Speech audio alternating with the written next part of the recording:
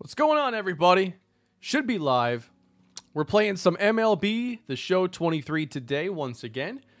And I'm hoping that we can start to narrow it down as to who the franchise team that I use for the series coming to this channel soon may be. So we're going to go through some rosters and probably get into a game with a couple of the teams that I'm interested in. And possibly we may open uh, these packs. You don't see me open Diamond Dynasty packs very often. It's been a long time. But uh, thank you to PlayStation for sending me a copy of the game along with a bunch of other stuff, including this uh, Topps 2023 Series 1 hobby box. So I haven't opened it yet. I wanted to wait till I was live, and we'll see if we get around to that today. But opening day's around the corner, and hopefully it's also going to be opening day for an upcoming franchise.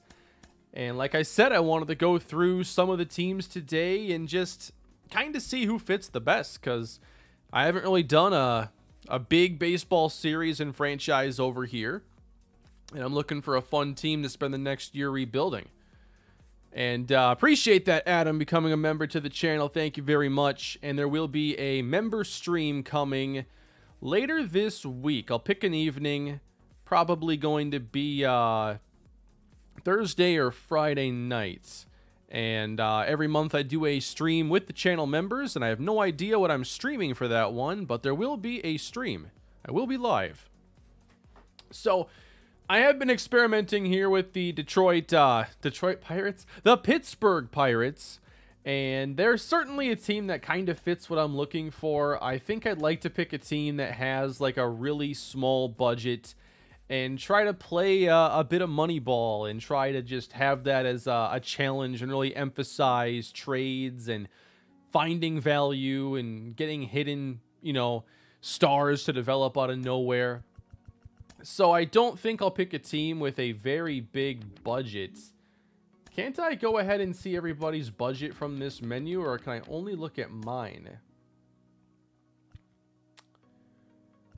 Is there a way for me to see more budgets all at once? Let me see if I exit out of here and if I go to like start a new franchise. All right, team budget there. So the Twins have 188 and they're, you know, very middle of the road team, very middle of the road payroll. So on the low end, we're going to have teams like the A's who have 87.5. I have to control all 30 teams. Yeah, I'm going to skip that and just pick this, I think. Are we picking a team today? Um, I don't know. I'm, I'm looking. I'm window shopping right now.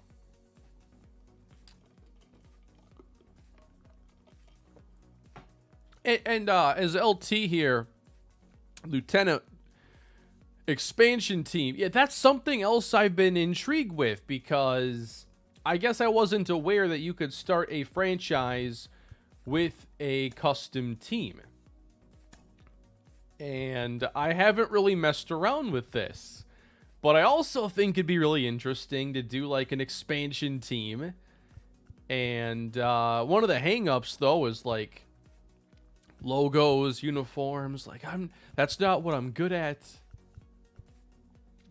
But it's a cool idea to maybe pick like a uh, an expansion team, and I might mess around and see what the roster looks like because I've wanted to do an expansion franchise for a very long time. I've wanted to do it in Madden, and I almost picked an expansion team like this past year. Now, for, to do that in Madden, it would require me to basically sim a year ahead, move a team to one of the like template teams they've had for the last like eight years and haven't touched them, and then like simulate some sort of a f- expansion draft, and it would be really strange. But the possibilities of just going into a new franchise with a new team in this game is pretty intriguing. Current roster doesn't have Fernando Tatis at all. Make sure he's there before starting. Yes, I have seen that. There are a few players that aren't on rosters. Um, Senga is another one that isn't on that roster. And perhaps there will be an opening day roster that comes out soon, but I probably need to download something to include Tatis because he won't be reinstated for a while. and won't be in an official roster. So, kind of strange how he's not like on there, but we'll roll with it and get a roster set up. No worries. Does it allow for an expansion to 32 teams this year, or is it still just replacing one of 30? I think it's the replacing one of 30. So if we just, like, don't do anything here, well, I'm not really changing the, name the name of anything.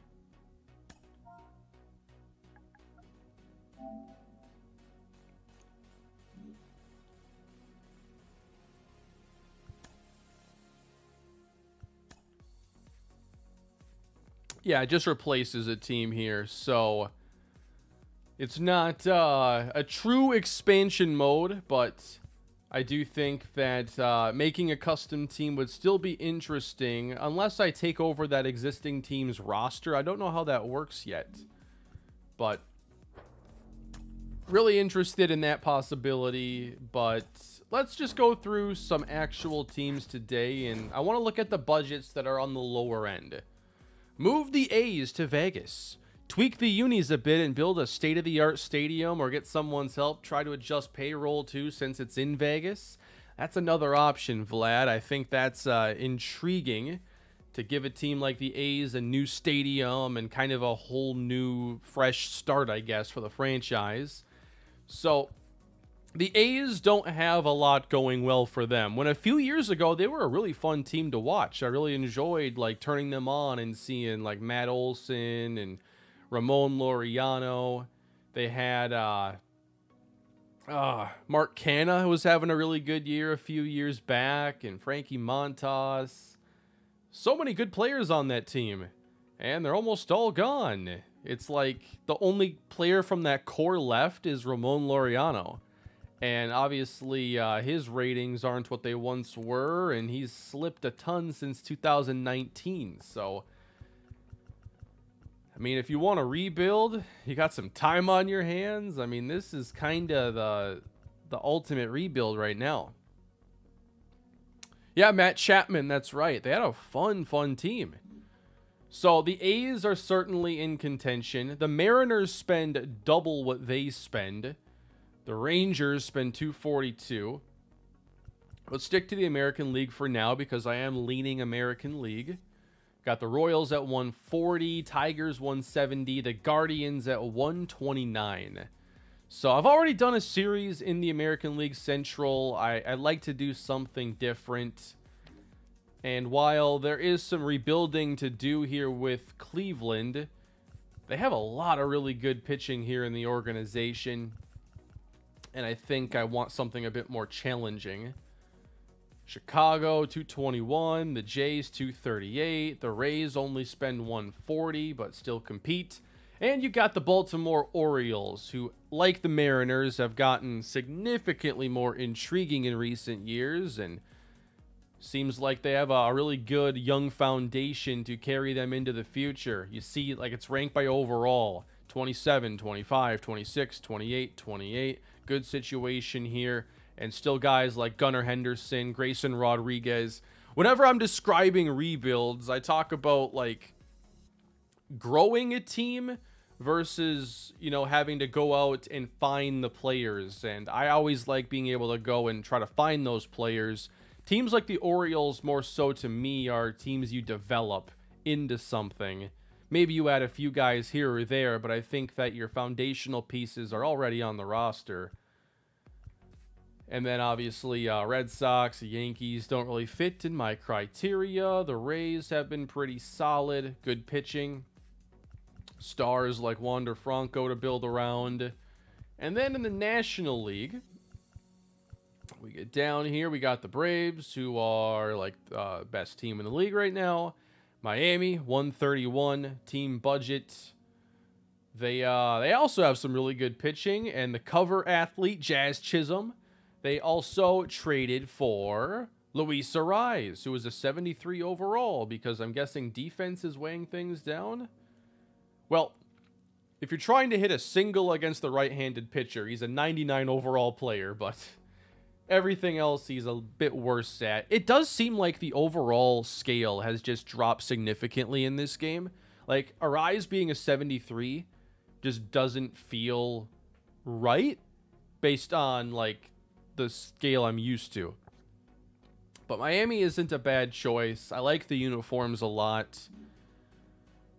I'd have a second chance to try and develop Garrett Hampson. I don't know if I'd be successful there either, wherever he is on here. You got the Mets, 349 million. Are you kidding me? The Yankees are allowing themselves to be outspent? Verlander, Scherzer, Diaz. Unfortunate injury in the WBC. Alonso, Lindor. And they kept around Brandon Nimmo, one of my favorite players to hit with.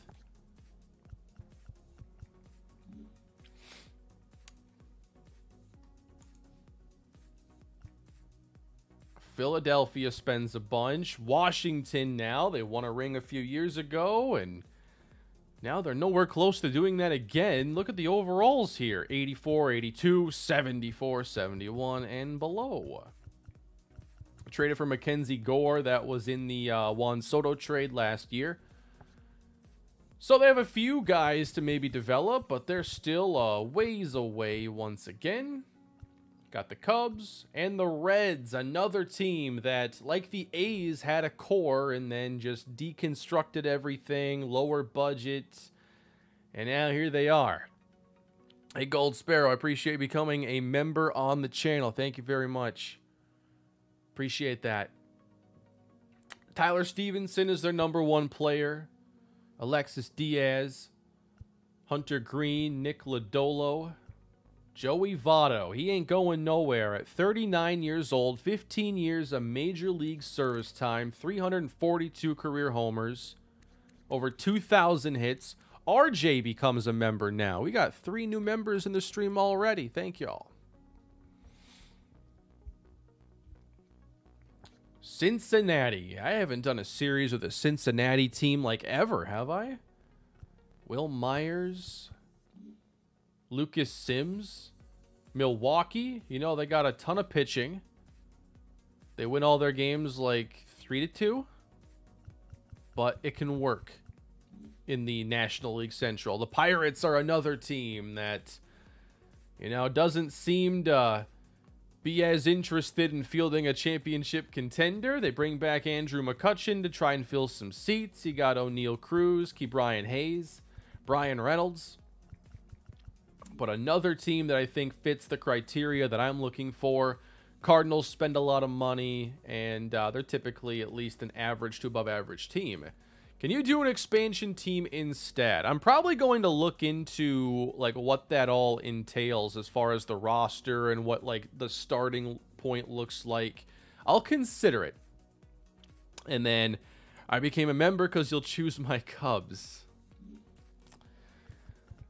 The Cubs yeah, they, they spent a little money here in the last couple of years. Seiya Suzuki comes over from Japan. Might be someone for them to build their next winning team around. Dansby Swanson, big free agent edition. I'd probably keep them in the running, although they do have a higher budget. It's an above average one. There is, uh, air, I'm not going back to the NL West, so you know, I love playing with my Rockies back on MLB 21. And if you're looking for a team, pick them. They're a really, uh, you know, they're kind of fun. They got Charlie Blackmon. He's fun. CJ Cron. German Marquez, who pitches well in Coors Field, even. Relatively speaking. But hey, if you want to build a team that can hit a bunch of home runs, just go play in Coors. You'll give up as many as you hit or more, but still. I'm a Twins guy myself. Hey, I'm a Twins fan too. You probably know that. Maybe you don't. Griffey Jr. will be the fourth highest paid Red based on his $3.6 million. That is uh, a fact. Yeah, I didn't even know he was getting deferred payments until like yesterday. And uh, Ah. You just want to see these teams do a bit more, right? Appreciate that, Scorpio. Thank you, Jake. Hope you're doing well too.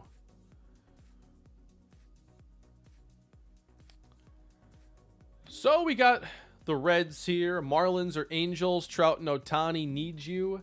That's another really intriguing starting point just because, like, you feel the clock ticking. You know, Ohtani's going to be a free agent, and Trout's not getting any younger.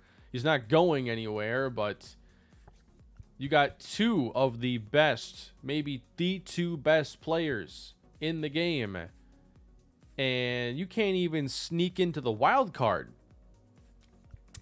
There's also Anthony Rendon, and man, they're they're kind of harsh with some of these ratings. I mean, you look at Rendon, 77 overall, see potential. I know it hasn't been great here in LA. I didn't realize it's been three years. I feel like the Nationals World Series wasn't that long ago. But, you know, three years is probably warranted to drop things significantly. Especially, even though he's played all a bit of all three years, each year has shown points of decline. Negative war even last year. That's rough.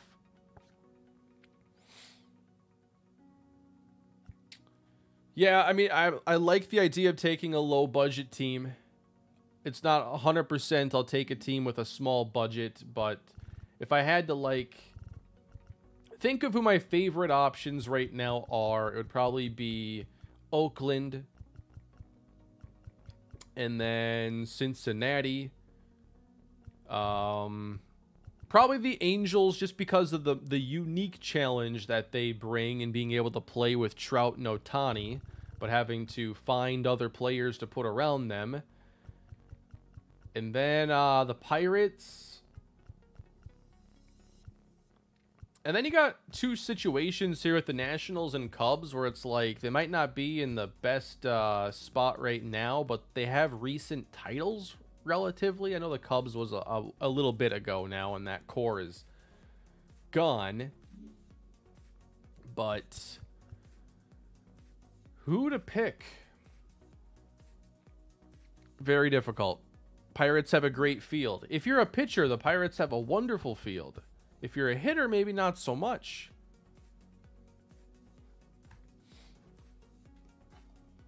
Definitely a lot of Pirates support in the comments.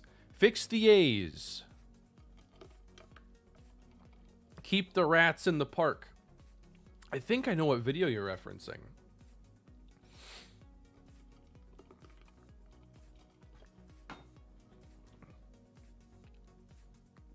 For never playing MLB The Show, would you feel the game is worth buying just to play the franchise?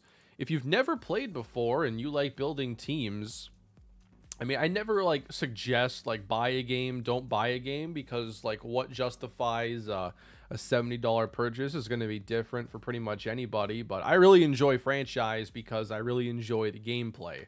I've wanted to see the mode get better the last few years and I feel like it has very slowly. The scouting additions this year are nice, but I've always been a fan of the way they handle player progression. I feel that it's really intuitive to where players will you know, if they don't play well, they're not going to progress. And in some cases, they'll get worse. And that's how you have prospects who never manage to break through and become stars. And it's how you have guys really surprise you because they go on a nice run and then their big season turns into sizable rating increases and stuff. Here's a fun idea choose the Angels and find a way to draft Sidney Jean Charles and add him as a young prospect. I feel like uh, um, that would almost make them like playoff contenders if they had Sid, Trout, and Ohtani. I have thought about making Sid to just throw him on St. Louis in this game and uh, see if we ever run into him. I kind of like that idea.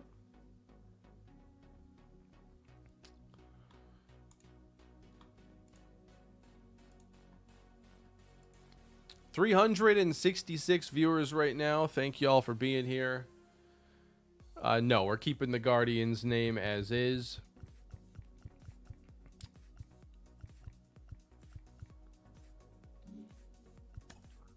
Hmm. I want to see, like, do they have a spot in here where you can see all the players at a position and their ratings? Because it just feels like the, the roster has significantly lower overalls. Like, maybe this is the way to do it here. Hey, Kane, finally caught alive. Thanks for all you do. Appreciate that, Kyle. Thank you. Yeah, it's hard to pick a, a franchise team because there's so many uh, directions. And a lot of people in the chat, you know, get excited for various teams. And it's like, no matter what, you know, I'm only satisfying a portion, like, with their top option. Let me see here. I just want to see, like, all 80 and up. I'm just curious about some stuff here. we got like a lot of um, players in uh, free agency that shouldn't be there. I think this is something to do with like Diamond Dynasty or something, or like Legend rosters. I don't know, because like a 22 year old Bryce Harper in uh, the base roster. I don't really know what the what to do with that. Yeah, I don't want to see legends.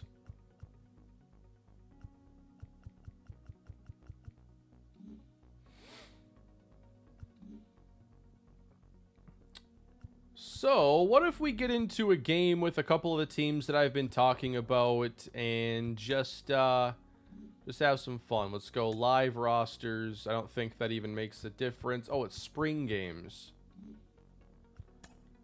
Or opening day games, which I, I definitely don't want to play today. So, Let's play a game with the Reds. They won 62 games last season. I already played as the Orioles. Yeah, here we go. The 100 losers. The 100 game losers. Let's do Reds and A's. Have ourselves a fantastic game here.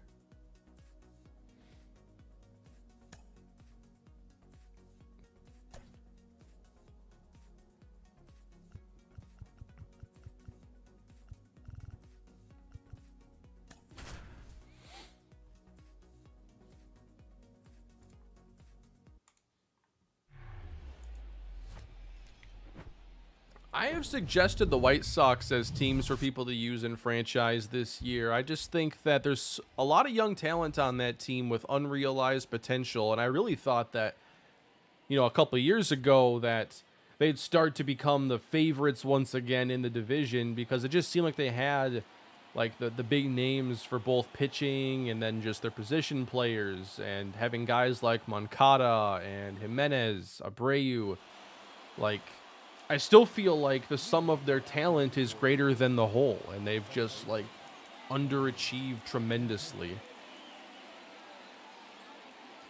But at the same time, some of those players just haven't played. the Reds are a great option, man. He just hit him on the first pitch of the game. This is our ace on Hunter Greene. He can't even get it to the catcher.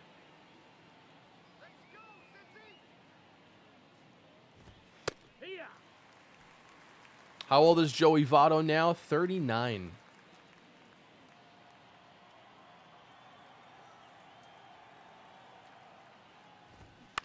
On the ground, come on. Steer starts it. Came over in the Sonny Gray trade, and we get a double play.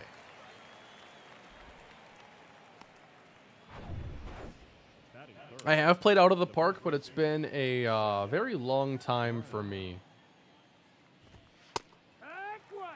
101. So if we do pick Cincinnati, Hunter Greene's one of those players that'll be really at the forefront of the rebuild. Three pitches, though, as a starter isn't something I'm all that fond of. You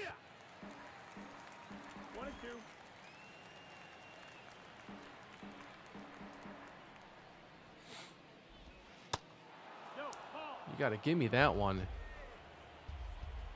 I'm not sure if I've ever seen a clearer sign that Kane needed to take over a team. That was one heck of a first impression. Nope, ball. Count is full. All right. Let's see what we hit here 3 2. 103, but not in the zone. He's throwing them anywhere from like 100 to 103 in this inning. That's a ball. This three pitch mix, though, for a starter is just like really odd to me. I can't remember the last time I started a game with a guy who only had three. I appreciate it, Deputy. Four years. Love the content and team building. That's what it's all about. Love building teams.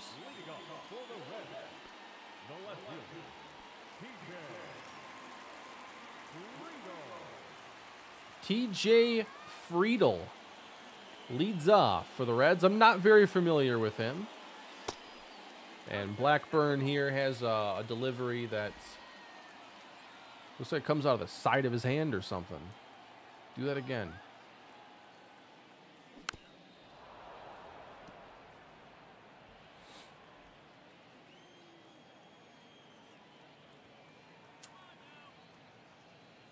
Hopefully I can hit a little bit better than I did in my game with the Orioles, but no promises, especially using this team.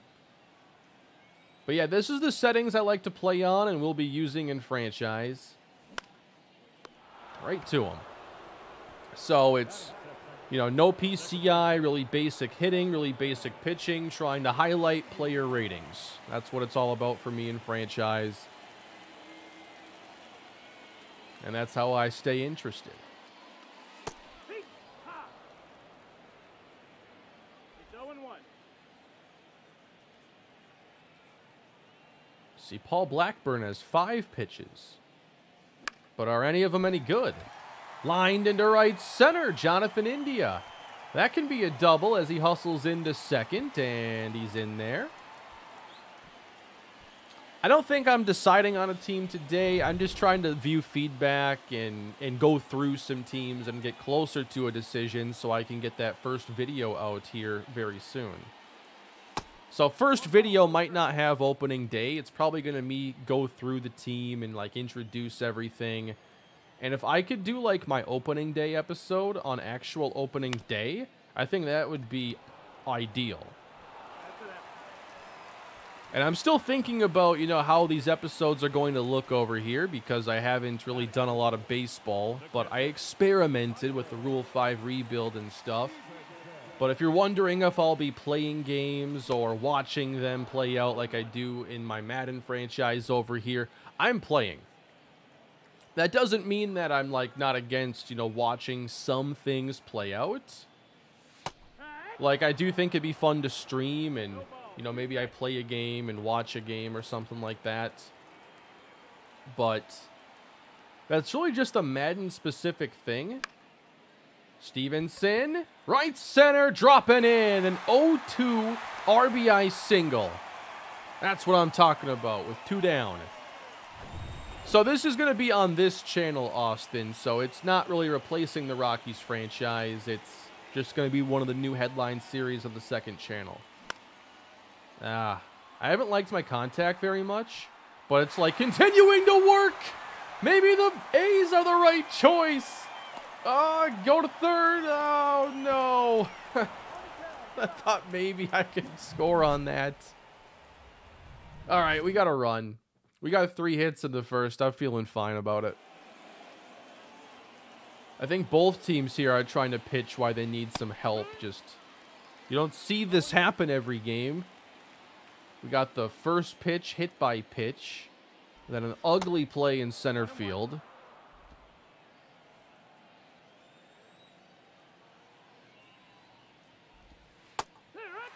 There you go. But yeah, episodes are going to be a blend of the same things that you'll see in the Rockies franchise on the main channel. But I'll be doing live commentary and everything, so it's going to feel different. So like we'll we'll do some player lock games. We'll go down to the minor leagues and check things out. We will see a critical situation pops up that looks interesting and then you know, there'll be times to jump into full games as well. So I think that it's going to be similar, but it's just seeing how all that fits together and if there are any tweaks I want to make to the format to uh, fit this channel. But I've been I've been wanting to do this series for a few months now. And I've been, you know, bringing down the number of series that I've been doing and I've laid out my content schedule for both channels where I've been posting a video every day, but typically alternating what channel I'm posting on. And I think that it's going to work out really well for what I want to do. And uh, switching to that format and making a little bit less content overall does let me. It opens up a bit of what I want to do.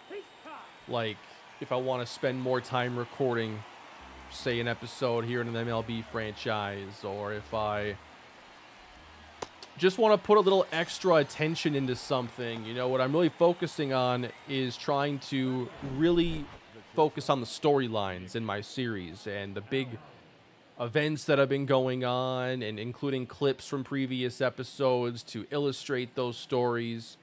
And I've been able to do a lot more of that because I'm not worried about putting out those extra videos before and sometimes I wasn't even able to get those done.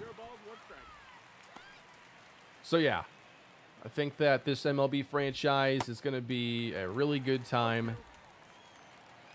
I've only done a couple franchises on the show, but some of my favorite content, and I wanted that strike three. One, two. Almost.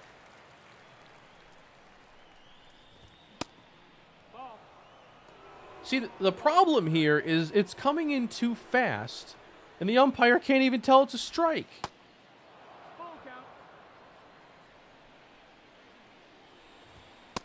We got the Oakland A's of umpires in this game. I feel like multiple of those could have been called strikes for me. I'm getting nothing close. One and oh. Strike.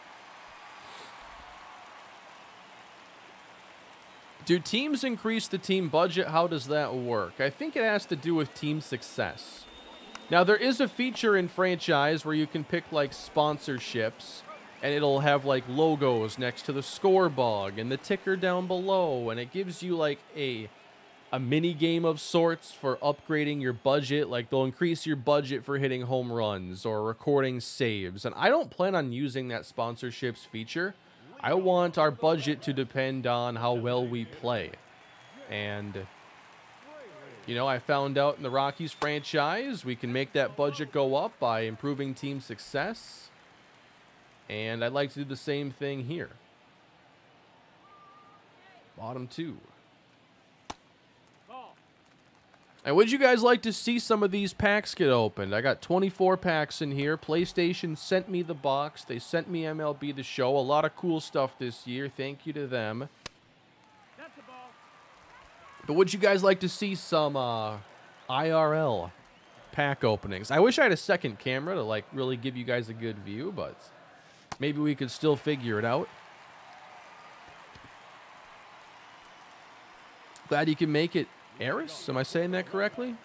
Kane, what's your favorite soda? I don't really drink soda very often, but my go-to, if I, I just want a soda, is Sears. Steer sends it out to right center field, and we should score one on that. Uh, give me a good ginger ale. But I stopped drinking soda when I was like 17, and now anytime I try like any of the big sodas like Coke or Mountain Dew, like I, I cannot stand any of it. So, you know, like a good root beer, a couple times a year sounds fine. Ginger ale too, but in general, don't really drink soda. One ball, one strike. My favorite Madden of all time? Oh, man.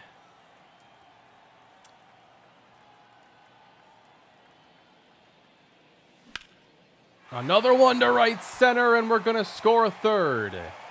I like to get back to pulling the ball a little bit, but I'll take just production. What kind of packs did they give you? So this is uh, the Topps Series 1 hobby box for 23. There are 24 packs, 12 cards in e- or four, there's 24 packs, 14 cards in each pack.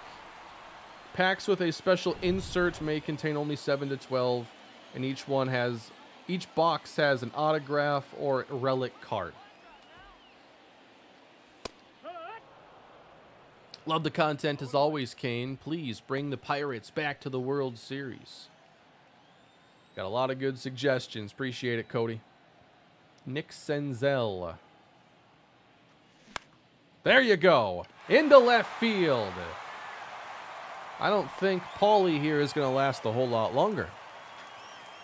Do I do commentary in real life? I only do commentary here for uh, for the channel.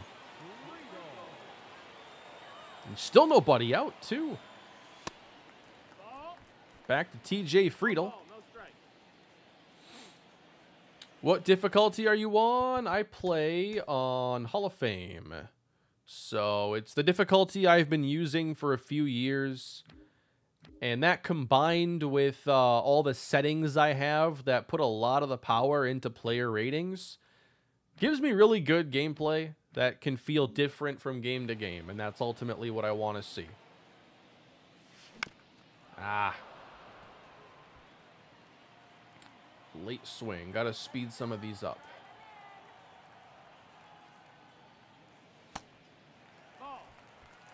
Thoughts on the Texas Rangers? I like some of the investments they've made and some of the players they brought in, but. Ooh! That's going to be a sac fly.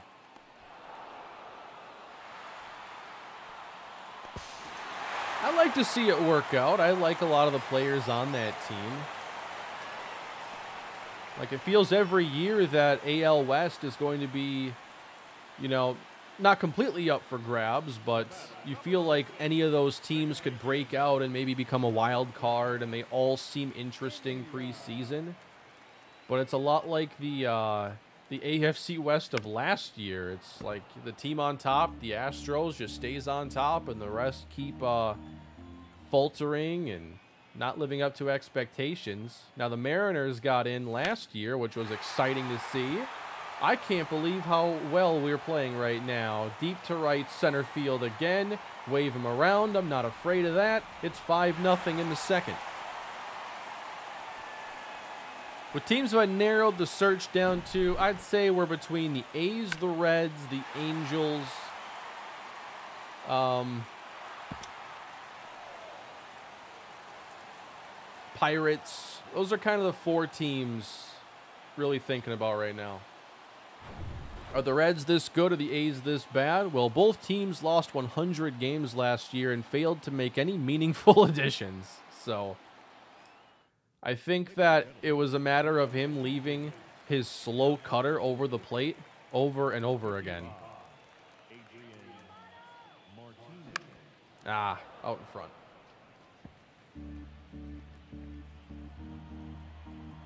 So obviously, in that group of four teams I was talking about, the Angels are a unique one, in where they do spend a lot of money. They have a couple superstars, but they've still been, you know, disappointing and haven't made it work.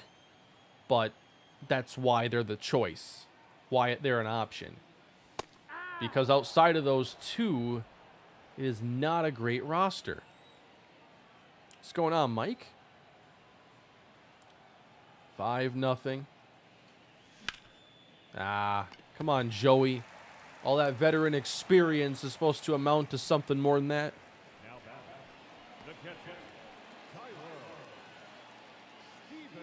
Careful with that low budget. It'll be tough to replace that right center wall with how you're wearing it out. I know. I love to hit one to left center, but I guess my timing right now is dialed up to be slightly late.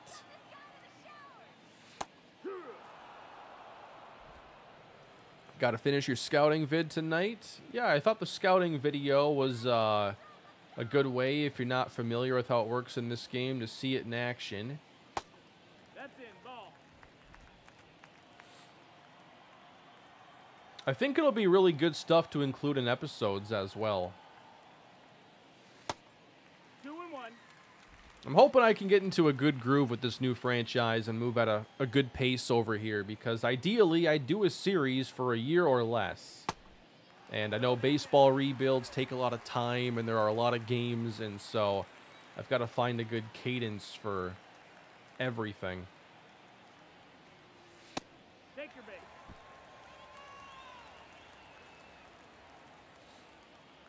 I play on a monitor, Isaiah. I used to play on a TV, but when I wanted to upgrade, I realized how much cheaper it was relatively to get a, a good monitor versus a comparable TV.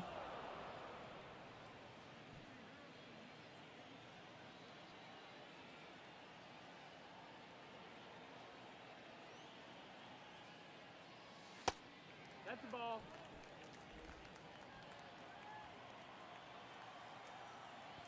Two on. We're still in the second inning. Can you believe that?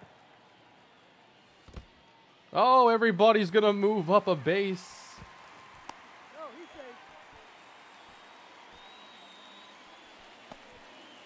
A March to October. Because I'm looking to do a franchise, I'm probably not going to do a March to October. I'm really trying to keep the number of series that I'm doing down. And I'm really more so looking to just start the franchise and, and get a fast start to it, hopefully.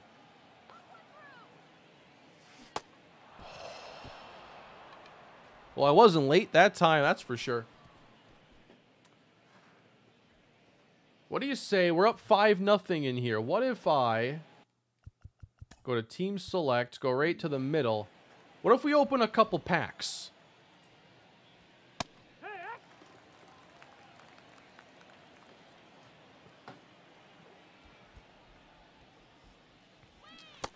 Been playing this game on uh, Road to the Show as your rewards disappeared. I'm from Northern Ireland. Love this game. I haven't seen anything about rewards disappearing, but I haven't gotten into Road to the Show myself. Any recommendations? I'm getting a monitor for my new job working from home and they're paying for it. Might as well get one for my PS5 and work. If they're paying for it, that changes the whole dynamic. I honestly don't remember what model I have. Um. But mine's a few years old. I have a Samsung. It must be a 26 inch. It does 4K 60. I opted for 4K because I knew I'd be getting a PS5 instead of the higher frame rate option. But uh depending on what you play, if it's for PS5 stuff, I mean, they they do have the ability now to do 120 frames. So you'll have to consider if you want 4K or not. Monitors that do 4K and 120 frames tend to be really expensive. I find that 60 is pretty good for me because I was so used to playing on 30 frames for such a long time.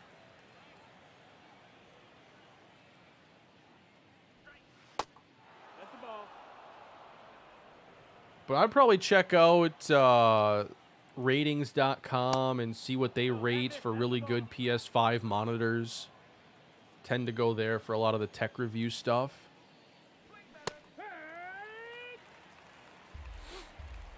Yeah, what what say we open up this a little bit and uh, let's see what's in here.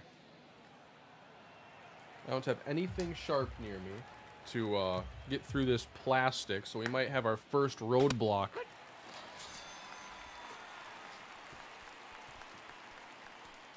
I got something in here somewhere.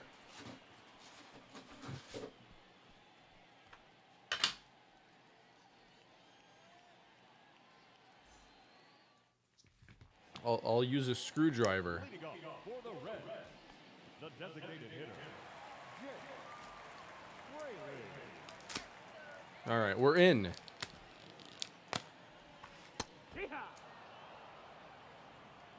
0 1.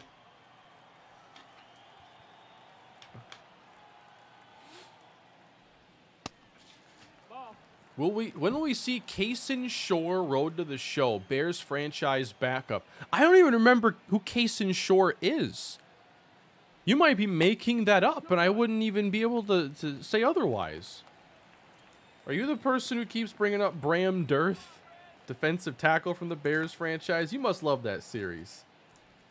Unfortunately, the Bears series was uh, a relatively short one.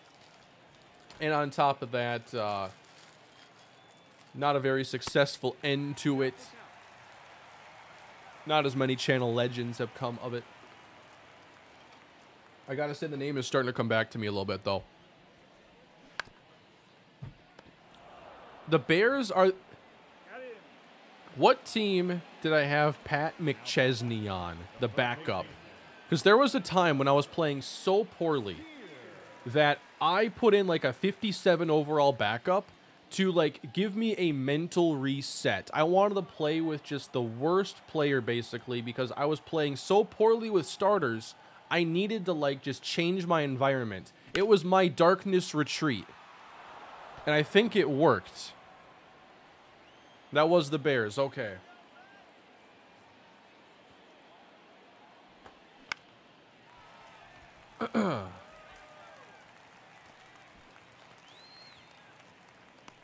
I really want to keep this box in nice shape.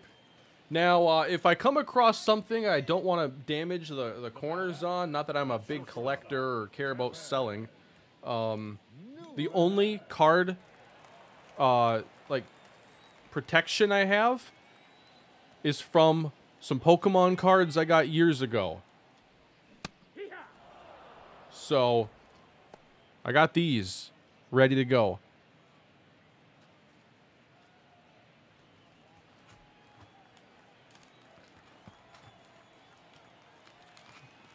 Here's what the inside of the box looks like.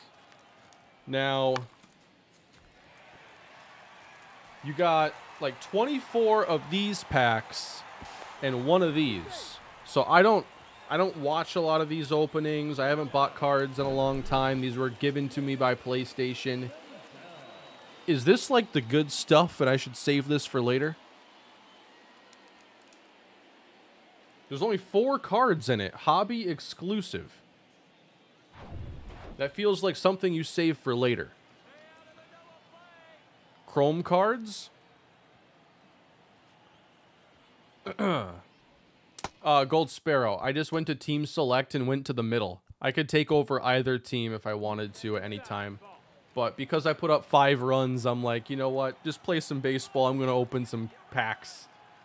Do I think the Twins are underrated this year, Kane?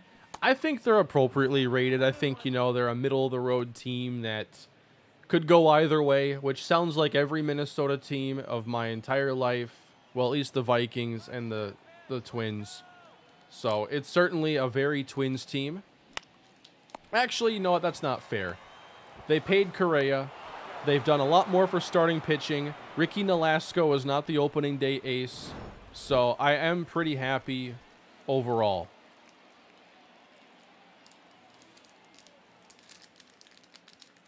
First pack opening. I, did it really take me 10 minutes, like a whole inning to open a pack? Who we got up first? Who's the first card? Y'all know it. I don't. Anthony Santander. All right. I uh traded for him in my Rockies franchise. Now I wish that I had uh you know like an overhead camera to where I could actually allow you guys to see kind of with me. So this might be the worst pack opening you'll watch on YouTube all year. Got uh, Nolan Jones for Cleveland. Paul Sewald? I'm not sure how to say his name. Ketel Marte. Ooh, we got a Mike Trout. now batting, the third baseman, Jace Peterson. I really want a Connor Joe. Like my wish list is like uh, Connor Joe. I know he's with the Pirates now. But I need Connor Joe, Byron Buxton, Jose Miranda, Mookie Betts. I like to get Jazz Chisholm as well. Alec Bohm, Vinny Pasquantino,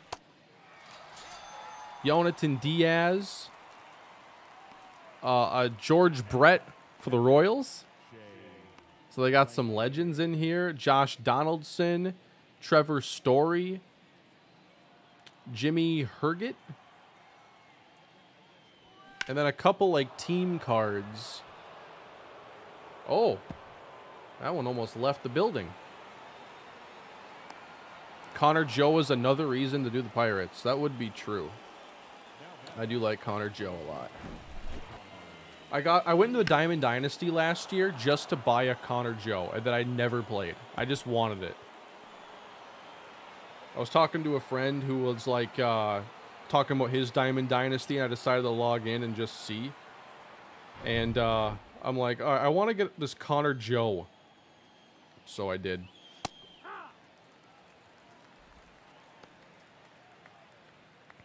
All right, we're going into pack number two.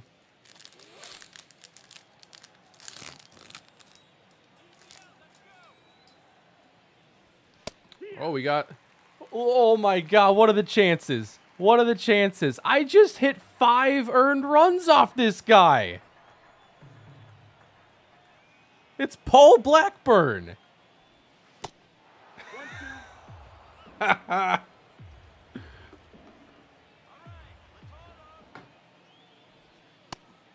two. That's amazing. Gabriel Moreno, Noah Syndergaard, Jack Suwinski, Jermaine Palacio, so the Twins. If that isn't a sign to pick Oakland, I don't know what is. I know, I feel like there's so many signs right now. What does it all mean? Graham Ashcraft, Mookie Betts. We got Mookie. So, that was one of the ones I wanted to get. JT Realmuto. Zach Thompson. I had him in the Rule 5 rebuild. Oh boy. Leading off for the 2022 greatest hits in the same pack as Mookie Betts and Paul Blackburn. We got a Byron Buxton. And it's got a little holographic nature to it too, so I mean, we're two packs in and I feel great. I feel real good. Uh, Taylor Rogers.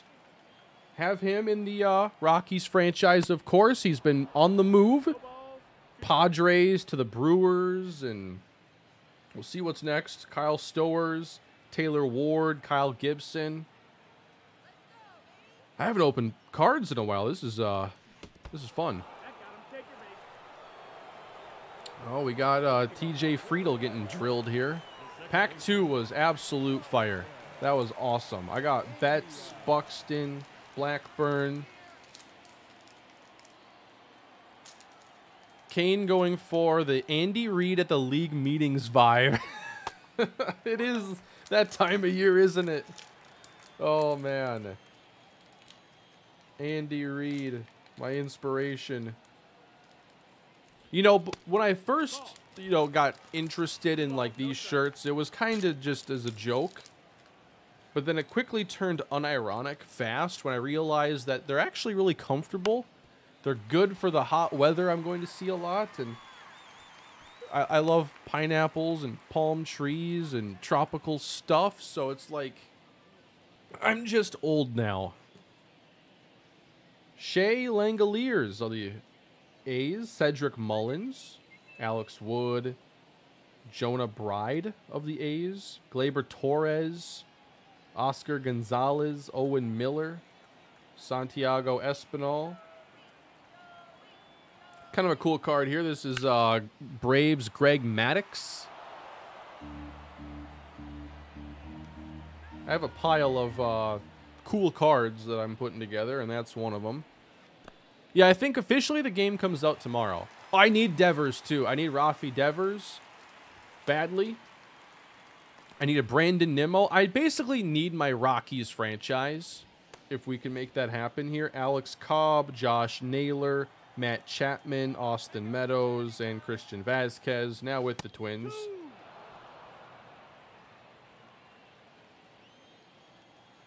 But this card is uh, still uh, Astros oriented.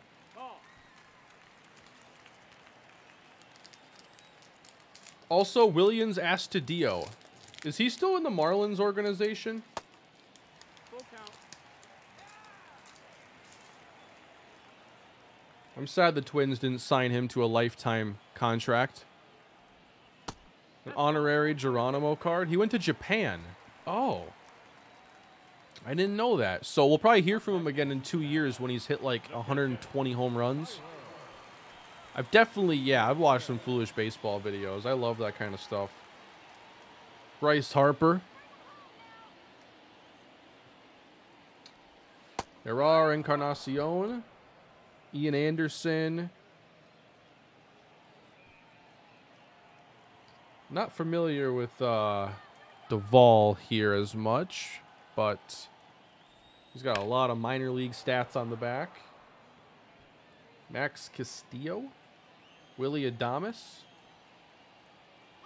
Oneil Cruz. That's a good one. Pete Alonso. Oh, God.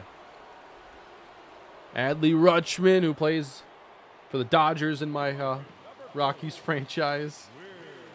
Uh, we got a cool one here. This uh, welcome to the 30 Club. This is a Christian Yelich.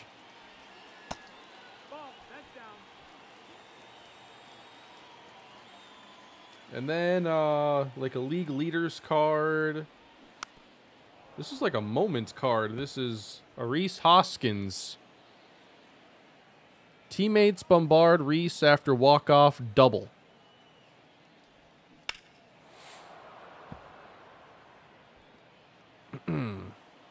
Rock the home state with the Rangers. I was really considering it for some time. But uh, I think there are just some other teams that fit what I'm looking for a bit better. Kenley Jansen, Yusei Kikuchi. I like Yusei Kikuchi a lot.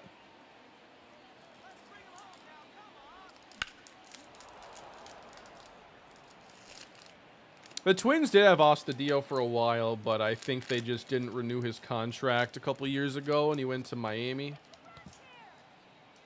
He's probably best known for that uh, that pitching outing he had against the White Sox back when uh, Yermin Mercedes hit the home run off of him.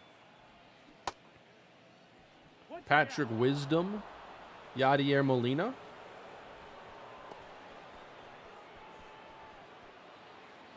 He's retired though. JJ Bleday, Kendall Graveman, Aaron Judge.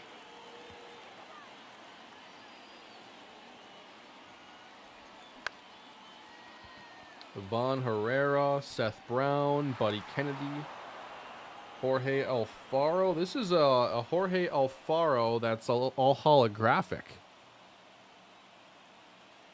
So that one's kind of cool. Hope you get an Ezequiel Tovar card.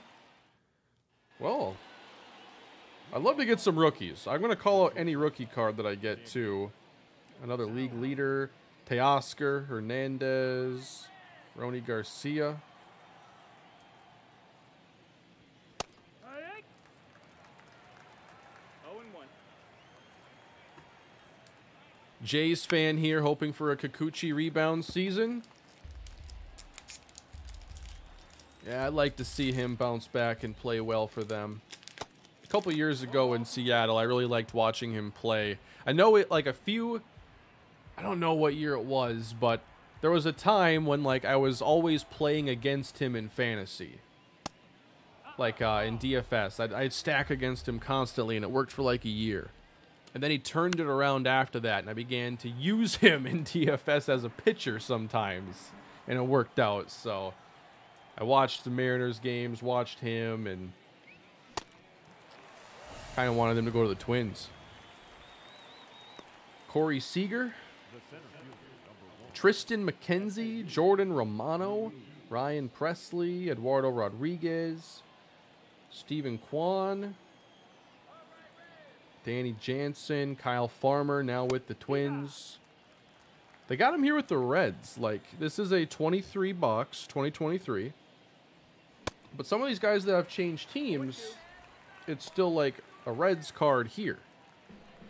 Jonah Heim. Ooh, another very fitting card to get. The man on the mound is right here.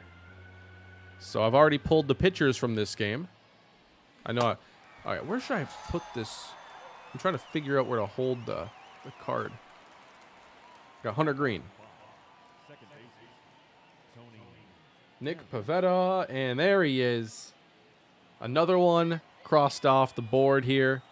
We got Rafi. That missed. That's the ball. So we've pulled Devers. This is Joe Barlow. I'm pretty happy with the pulls. I guess I need a Luis Severino, um, a Lucas Sims, a Seranthony Dominguez. I'm I'm opening this one from the back, and I see I pulled another Buxton. Ball. 3 and oh. 0. Oh, I also need a Zach Gallen. I got Pavin Smith, Jake Cronenworth, Brian Serven. Oh, who doesn't? I need, need to pull at least one Shohei. I mean, of course. Tyler Stephenson, I, I hit a double with him. Martin Perez, Seiya Suzuki, Steven Matz, Nick Pratto, Dylan Bundy, and Gary Sanchez. Back to back twins, although Gary Sanchez is now playing in the Dominican League this year. Trevor Larnach, three twins in a row.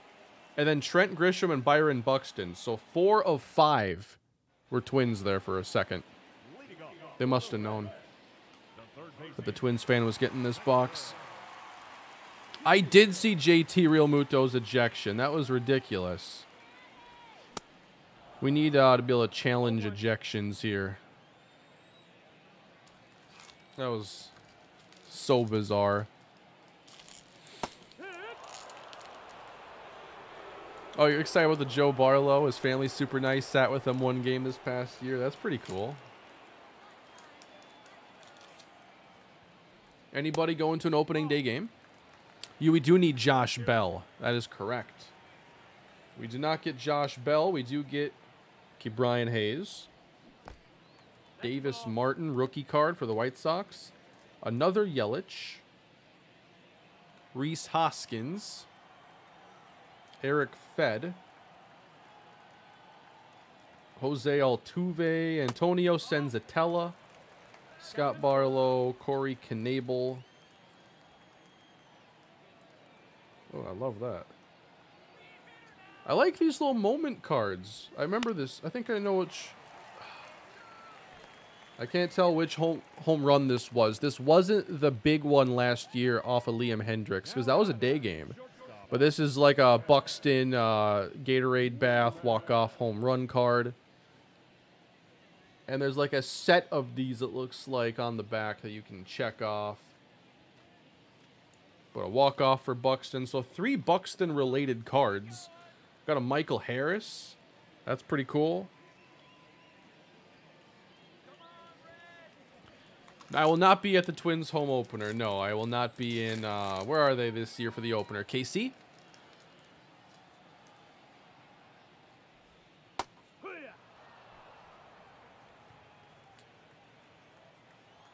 Be at opening day here in Seattle. Go M's. I can't wait. Merrill Kelly, Fernando Tatis Jr., Darick Hall of the Phillies, Matt Strahm, Kris Bryant, Tanner Rainey, Bobby Witt. That's a good one. Aaron Ashby, Brad Keller, Brian Brayan Bello. Keegan Thompson, Ryan Helsley, Eswaldo Peraza. Harold Castro. So no Josh Bell, no Luis Severino, no uh, Lucas Sims, Seranthony Dominguez, Brandon Nimmo. We still got some I'm looking for here. Oh, he asked about the home opener. No, I, I don't live anywhere near Minneapolis anymore. Aaron Nola, Korey Lee, Max Fried, Carlos Rodon, William Contreras, Brandon Crawford, Jonathan Aranda for the Rays, Josh Rojas, Yu Darvish. Ooh, what's this? Our greatest hits of 2022. This is uh, a Bryce Harper, Another holographic effect, like the a Buxton I pulled earlier. Followed by a Jose Ramirez, a Twins Sonny Gray. Oh, this is another one. Three twins in a row, by the way. We got Sonny Gray, Max Kepler, and Jhoan Duran. So, forgot about this. Forgot about the, the flame throwing reliever. That's a good one to get. What are my thoughts on the pitch clock? I think once players are all used to it, I think we'll like the the speed sped up nature. I haven't been watching like a lot of live spring training. I want to see like how different the broadcasts will feel if you know I I really enjoy when you get into just the meat of the season and you do have a lot of just like it's almost like a podcast that's going on during the game and it's very conversational and I'm hoping there's still an element to that. But I have seen some uh, really fast at bats. That's the ball. But I'm looking forward to it. What's going on, Bram Turth? Kane, are you a Timberwolves fan? I'm not really like a huge NBA fan, but the team I would want to win the most is the Timberwolves. Yes, I, I did see the end of their game last night. Pretty good stuff out of Cat. So I imagine they'll uh, be in the whole play-in deal here probably soon. Which do you like more, Twins or Vikings? Definitely much more hardcore into uh, the NFL and the Vikings. Like last year, maybe the last two years, I focused way more on just the Twins than the whole league.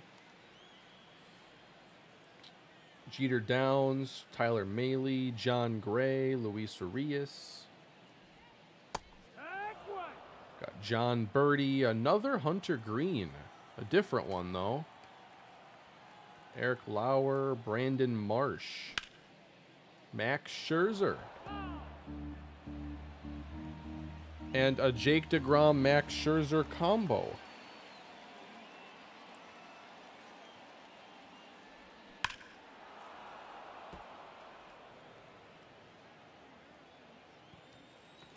I think we're roughly halfway through. One, two. Still got some cards I'm looking for, but some of the heavy hitters, you know, I think if I only could get one, it was going to be Buxton, and I have like three versions of him. That missed. That's the ball. I wonder if King would be willing to rebuild a poor small market team with a recent history of failure like the New York Yankees. As a Twins fan, I don't know if I could ever do it. Too much bad history there. Brendan Rodgers. Cal Raleigh. Got a Yankees Anthony Rizzo that looks kind of cool. The right Ramon. I've always liked the crowd in this game, yeah, and they get like uh I feel like the the stadium atmosphere in the show has always been uh solid. You know, you can see like fans stand up and I think that they do a good job of getting loud. Salvador Perez, Trevor Rogers. I haven't pulled one of my uh, wish list cards in a little bit. Can he get there? Nice job.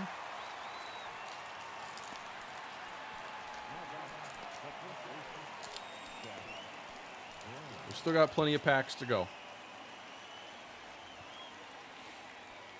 Cesar Hernandez, Chas McCormick, Emmanuel Clase.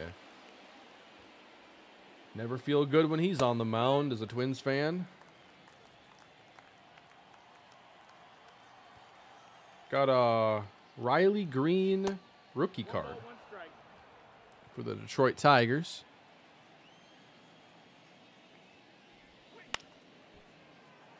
Ooh, what's this? This is uh Topps Home Run Challenge Jazz Chisholm and I have to scratch the back for a promo code.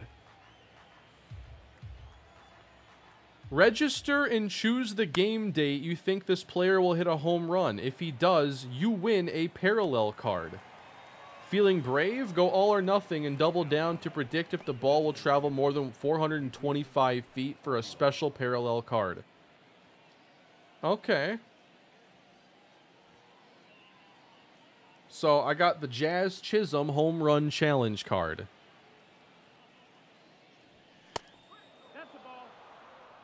If you do scratch, be gentle. The code rubs off pretty easily. Good call. Yeah. The A's stadium is not one that I like. I especially don't like it when the Raiders were playing there and I have to see, you know, second base on the field. Like, just not a fan of that. That's probably the best part about the Raiders moving to Las Vegas.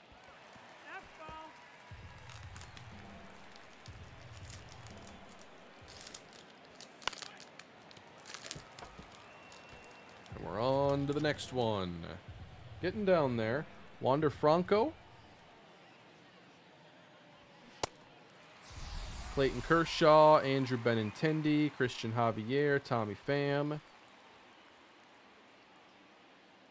A Cal Mitchell Pirates rookie card. Played 69 games last year.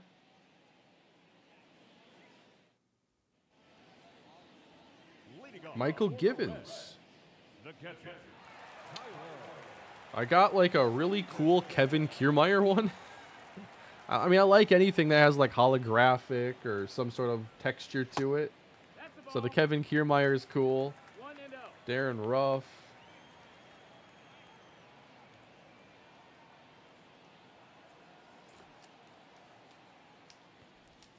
If I had to root for any other team besides the Twins, which would it be? The team that I think I'd want to cheer for would be like the Rockies, but I just think that that might be a train headed nowhere, you know? Ah, if I had to if I had to pick, like if you need me to pick a new team. I mean, San Diego's pretty cool. I went to a Padres game when I was younger. That was a lot of fun. Um, I could pick the Dodgers and just see what it's like to cheer for a team that's pretty good every year because I have no clue what that's like. Um, the Braves are a pretty cool team, but they just won a couple years ago. I guess the Dodgers did too.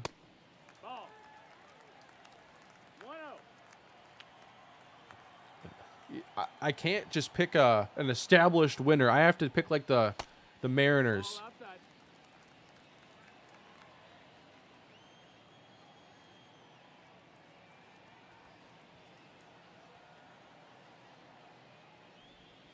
Tag.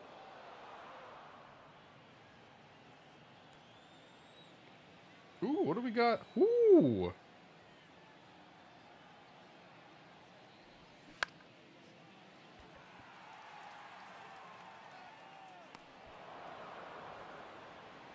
This is a Mike Trout Major League material. I'm trying to see what the material is actually like specifically from. That's cool. That's a Mike Trout material card.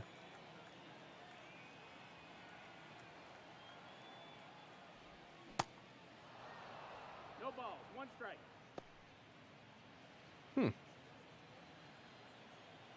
Whatever it is, I think it's cool.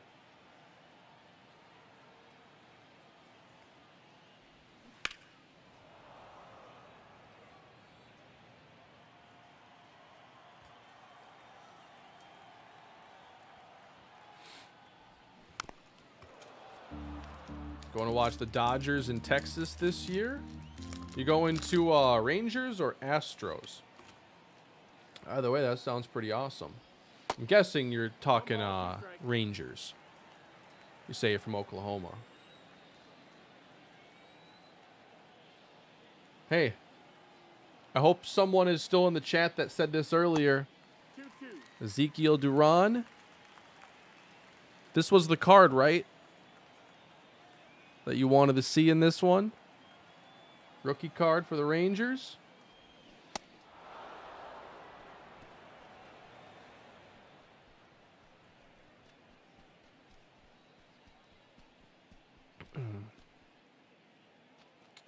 So this box is uh again it's the 2023 Topps Series 1 hobby box and this was given to me by PlayStation along with a bunch of other stuff for uh, the MLB The Show 23 release. Big thanks to them. I haven't opened cards in a while. This is definitely uh, a lot of fun. No ball. Two strikes.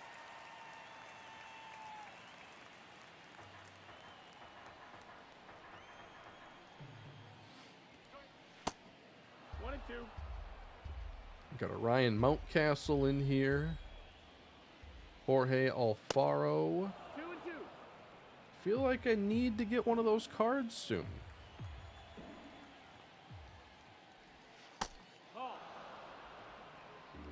Kane, I have a challenge for you. What's the challenge? Yeah, I saw the Lamar stuff earlier. So, the one thing I had a question about, obviously, they gave him the non-exclusive franchise tag, so, like, if a team wants to sign him to an offer sheet, then uh, it takes two first-round picks. If Baltimore was willing to just do a trade, would they be able to work out a trade for less than two first round picks? Could some different compensation be created? Obviously, they're to there's no deadline here coming up. They're going to try to get two first round picks or the entire plan was just to get an offer sheet and then match it.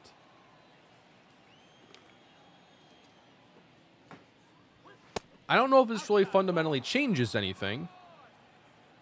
Yeah, I have seen some people suggesting Lamar to Minnesota, and I love Lamar. Like, I would love to see Lamar Jackson as the Vikings quarterback, but I do have concerns if he gets like a huge contract about how they would be able to build kind of the rest of the team because the defense is in full on rebuild mode and they got some things they have to address, but like in general, yeah, I'd love to see Lamar Jackson. But I think a team like Atlanta would be a lot more likely to maybe work out a deal or sign him to an offer sheet or something. Does the stadium get super packed in the show during playoff games? Would love to see Philly Stadium in real life, best playoff atmosphere. Yeah, I think the show has always done a pretty good job with like dynamic attendance, and not every game is just a sellout. Like you'll see a lot of empty seats for like random Tuesday day games in July and stuff. No, that's out. But opening day certainly has a different feel, and the playoffs have always been pretty good for that too. Got Corbin Burnes. We had him for a little bit in the Rockies franchise. That's the ball. Outside.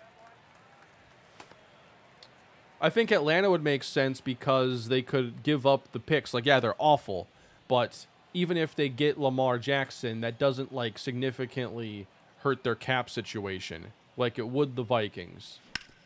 It wouldn't prohibit the Falcons from doing more. Got Paul Goldschmidt back to the Twins franchise when I had him in there. Gunnar Henderson. I like that one. Ooh, what do we got here? This is cool. Clayton Kershaw. All aces. Is apparently like the, the the promo or whatever for this card. That one's very sweet. 0 and 1.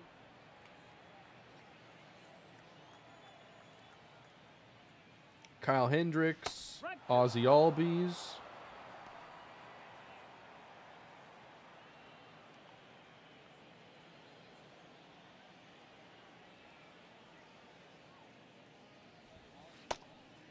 One, two.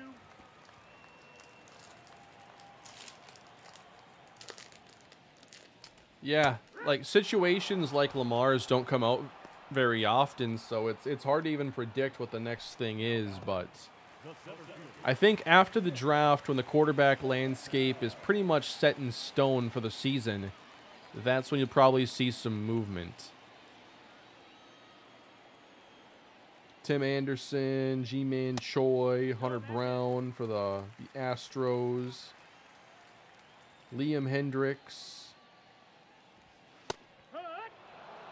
Gregory Soto, I have him right now in that franchise.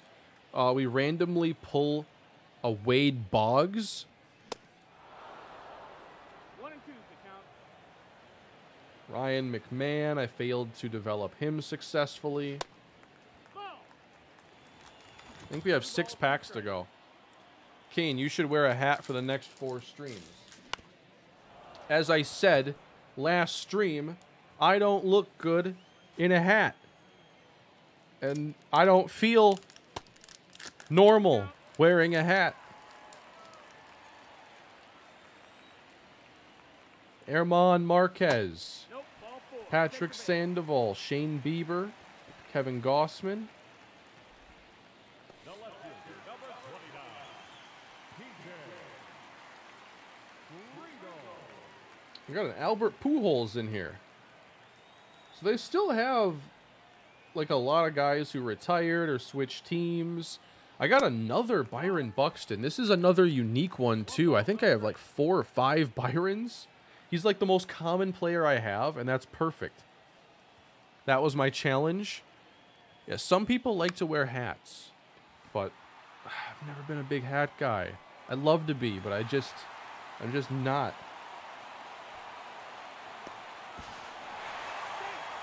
There we go. We got Jazz. I know I pulled like a home run challenge Jazz earlier, but this is more of your standard card. I don't expect to play Diamond Dynasty. I think it's a, you know, it can be cool, and I think they've done a really good job of giving interesting offline content to grind, but I know it's a, a lot of time It's a big time commitment and I I don't have the time. It is the one card collecting mode I think I'd be interested in playing, but I'm trying to do better about not uh, overextending myself and trying to do too much. Ethan Small from the Rockies franchise. Like so many guys I'm way more attached to just because of that. I mean, I got this card here. It just makes me want to find an actual Vladdy in here somewhere, but I haven't come across one yet. This is this is here we go throwback. We got a Jimmy Rollins. Welcome to the club. This is a 2020 card. So reading the back here. 20 stolen bases, over 20 home runs.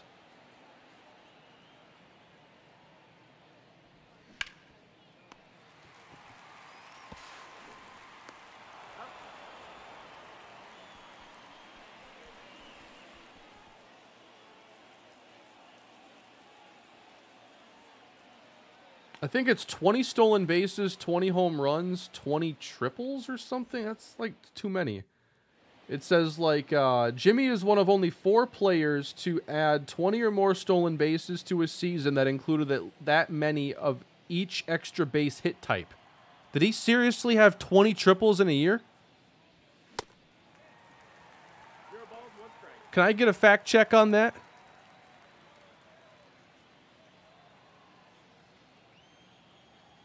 That's one in every eight games. That's almost one a week. It's not quite one a week, but it's one like every eight or nine days. That's ridiculous. Ball, that's. Seth Beer, this guy crushes me in franchise. Ronald Acuna Jr. So, in 2007, yeah, pull up those uh, stats again. That's amazing. You know, I love like the big breakout stats as much as anybody, but like the blended stuff is always cool. Like home runs, triples, stolen bases. 38 doubles, 20 triples, 30 home runs, and then at least 20 stolen bases. That's that's a lot. He wasn't an All-Star that year, but he won MVP. Is that true? Miguel Vargas for the the Dodgers. Julio Rodriguez. Can you do an out of the park series more in depth and more franchise focused than the show? I think you love it and you make a terrific series for it. Probably not a huge series. But maybe at some point I will check it out for uh, at least something smaller. I think when I am done with the Vikings franchise, I'll be able to look into something like that if I haven't replaced it. But right now the focus is to just get uh, the show on this channel again and get into the franchise soon. Appreciate the super chat. Got a Juan Soto. Yeah, that Jimmy Rollins season is ridiculous. And he played all 162 games, had 41 stolen bases. That's got to be one of the most impressive seasons in like my lifetime. That's incredible.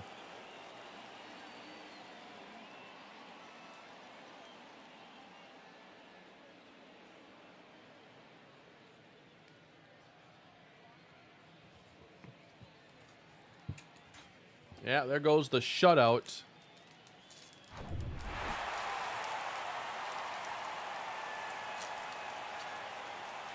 Jose Reyes and J.J. Hardy were the National League reps at shortstop that season.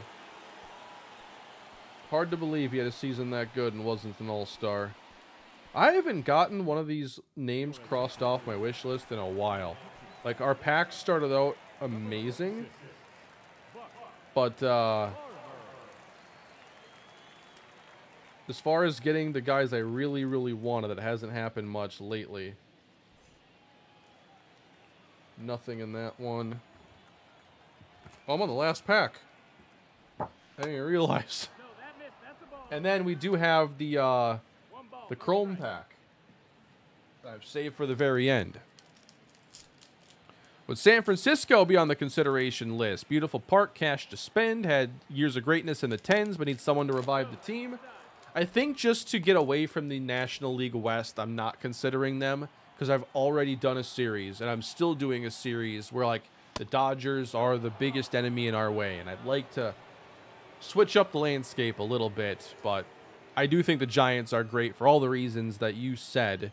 And uh, ballpark wise, I think they would be one of my, my favorite choices. Ball four. Take your base. Now back, right fielder, Ramon All right, so we're on the final regular pack. We got a Sandy Alcantara, Beau Brieske of the Tigers,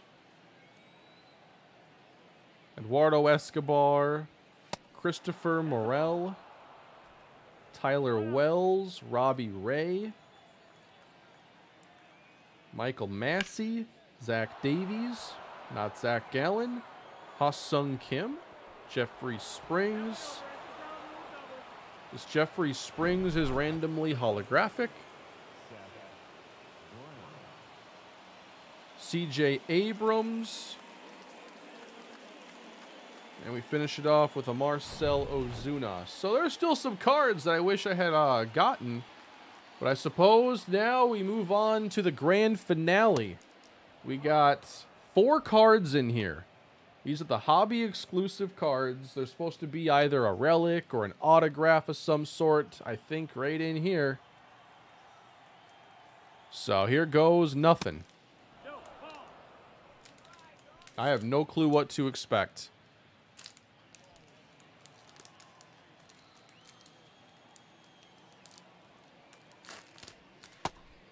No, that's down. Ball. Ooh, I just flipped it around. So we do have a Ke'Bryan Hayes. Another sign, you know.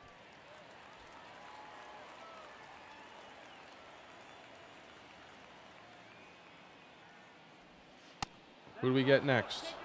Is it a good one? Jack Winkowski. Not as familiar. Next. Salvador Perez. All right.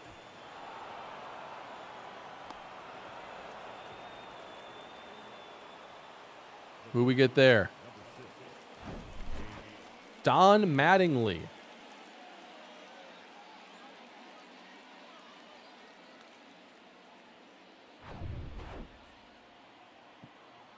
So the final four weren't like the greatest final four. 0 and 1. I like the Hayes. Mattingly's cool. Perez, just not like my favorite teams or anything. No, that's in. Yeah, that was fun. What team will sign OBJ? I don't know. I'd be cheering for one of the New York teams, though, and that goes for all three of them, honestly. I think all three are, like, intriguing for different reasons.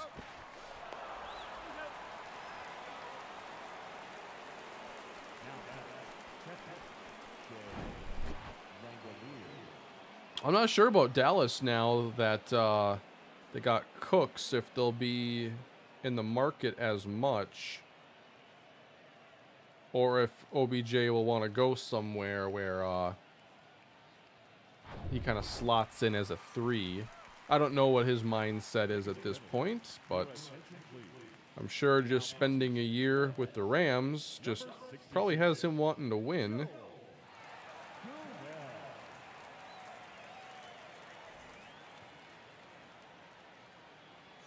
One year and rebuild his status, I agree 100%. I prefer to st- stream on uh, YouTube. All my subs are over here already. I think YouTube streaming's come far. So that was 24 packs. Plus I got the uh, the chrome ones here. I got them all in uh, these plastic little case thingies now. Pulled some stuff really liked though. And uh, I think Byron Buxton was the most common player to show up, and that couldn't have been any better for me.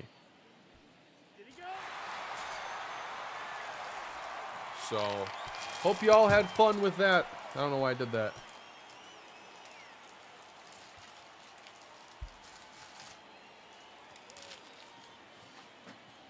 I got a whole mess. Your attention, please. Now picking for Oakland, number 19, Drew Steckenrider. Leading off for the Reds, the first baseman, Joey Votto.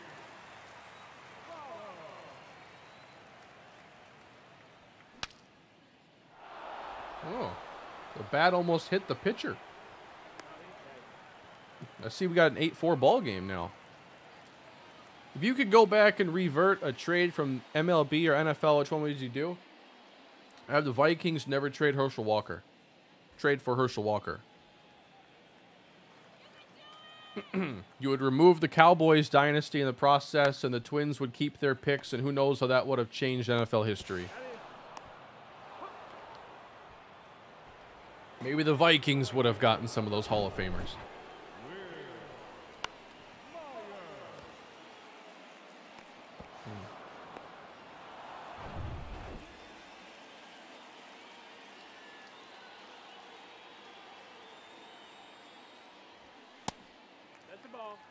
You'll see what I end up doing with the Titans in the next video I do. I've been working on both the Game 5 with the Rockies, and I've been working on the trade deadline episode with the Titans.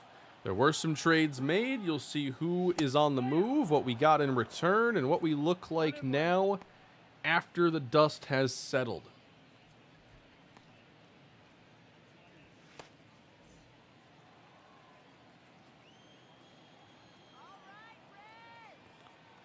Yeah, that series has been interesting because a lot of my franchises are very linear in a sense of they all start out and you know, we typically struggle a bit early on and then we get a little bit better and we become a playoff team and then a stronger playoff team and then a championship winner.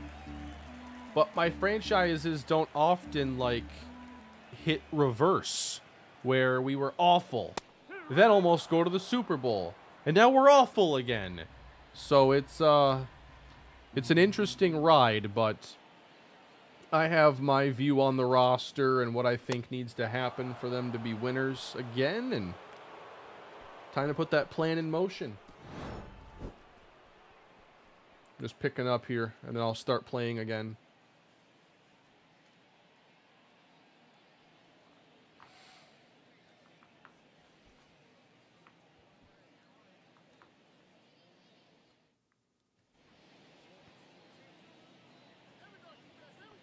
Leading off for Oakland, the left fielder, Conner Capel.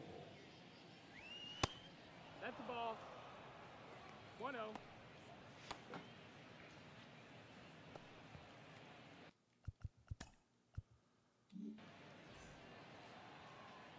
Taken over.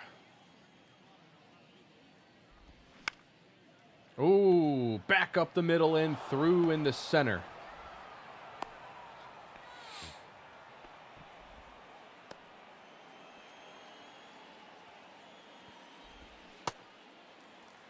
Oh and 1. A modded franchise? Probably not. I like to check it out, but I just don't think that I have time to to commit to another big series like that right now.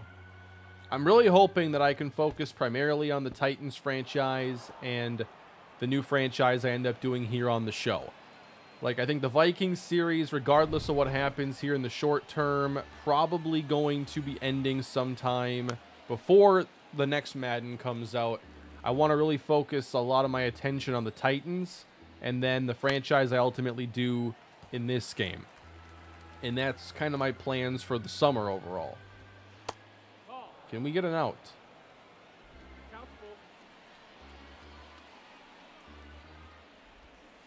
Got him. So I'm on a much older update for Madden.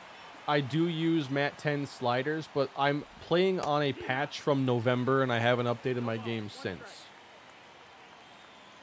But I would be using whatever Matt10 has, as that's drilled deep to right center field and we'll score one. A's chipping away.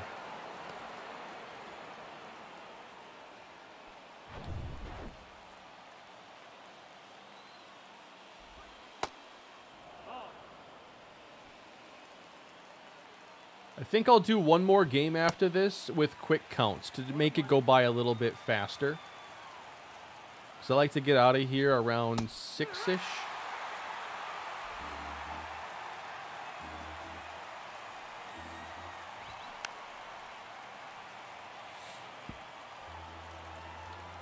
I've been narrowing it down. I think today has helped Expo. We are using two of the teams right now that I've been considering. The Reds and the A's, two teams with, you know, low budgets, have recently uh, traded away so many of their core players. We've talked about the Pirates. We've talked a lot about uh, the Angels. The Cubs have been a team people have talked about today. But I'm really interested in one of these low budget teams. And oh my, that's deep down the line, hooking foul. I'm really interested in this budget uh, challenge. Into right. The A's will not go away quietly. I haven't considered the Nationals as much because they were a recent World Series winner. One. Moneyball 2.0 with the A's. I was already thinking about if I took the A's, you know, that first episode would be called like Moneyball 2.0. And going into what that means to me. That's the ball. One and two. One, two. Oh, man.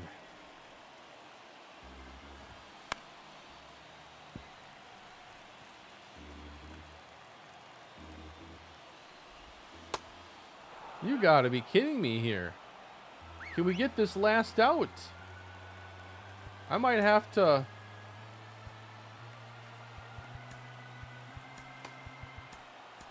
Get the closer warm for this. Three and two. Got him! The game is over. 8 to 6. Yeah, I've checked out teams like the Mariners and the Orioles, and they're kind of a stage, you know, past a full on rebuild. And I feel like I want to take a team that needs a lot of work and doesn't spend a ton of money and allows me to focus a lot on scouting, trying to find those superstars. I mean, a lot of teams are interesting for very different reasons. Hunter Greene had a heck of an outing.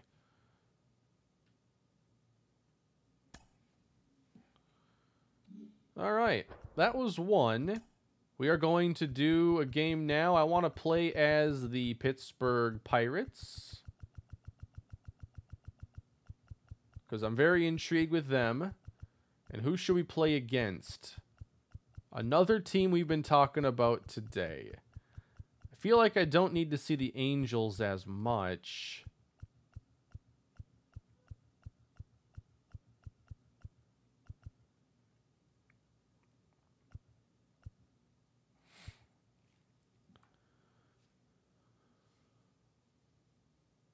I haven't played Road to the Show, Jace, in this game. I don't think I'll be playing it this year at all.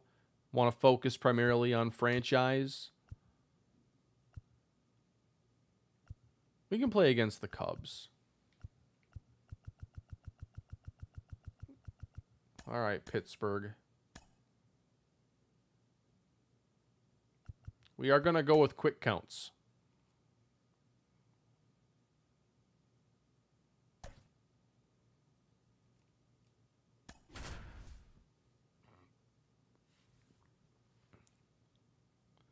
Nice shirt, thank Kane.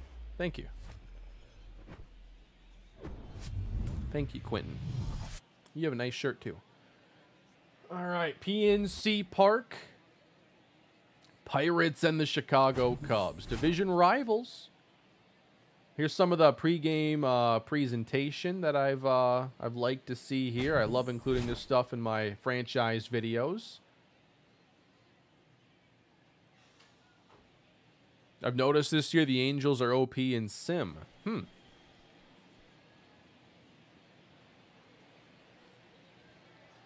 I haven't done any like simming to check out who sims well or anything yet.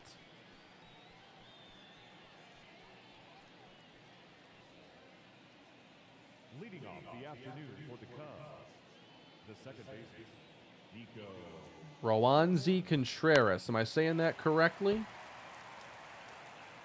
He is the ace. Ooh, crack to center, sending Reynolds back, and he gets there.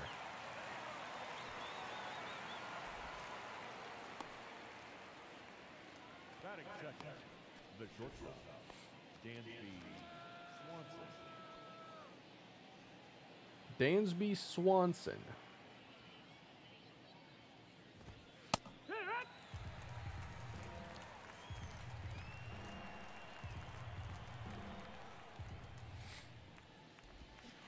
There you go.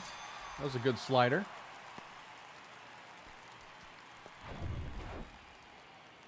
And now Ian Happ. Keep giving me 1 1 counts.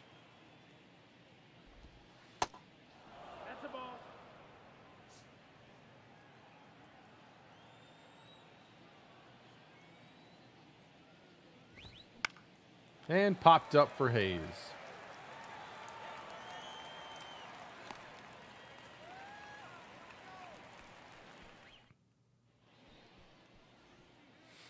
Marcus Stroman.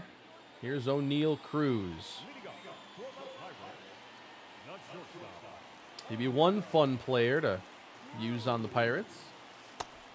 Two and one.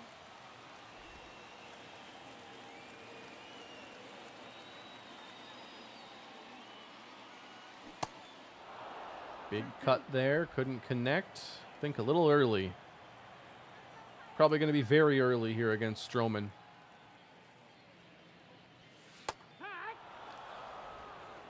I don't like that one.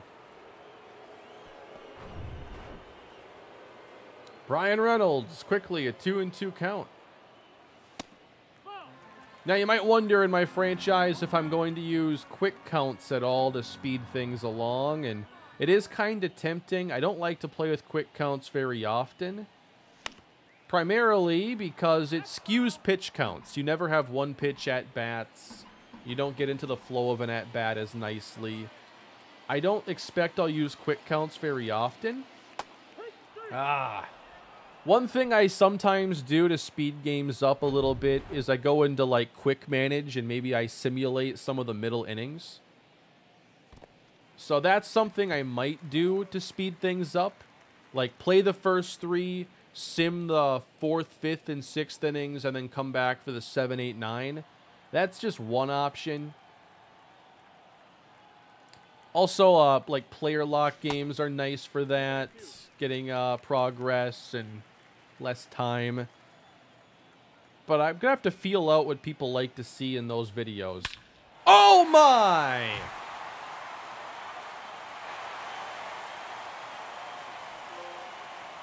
That's the first homer I think I've hit in this game. 475!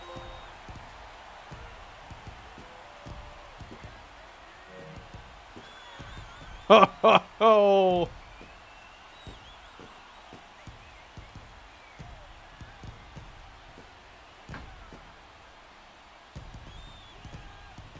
Carlos Santana has left the building.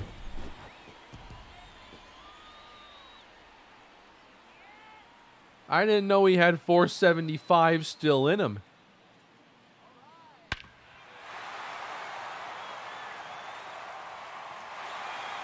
Oh yeah, that sound will never get old.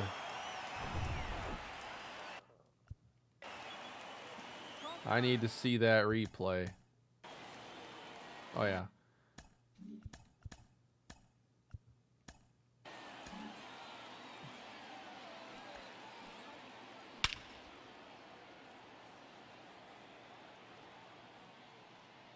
Yep, that's a river shot right there.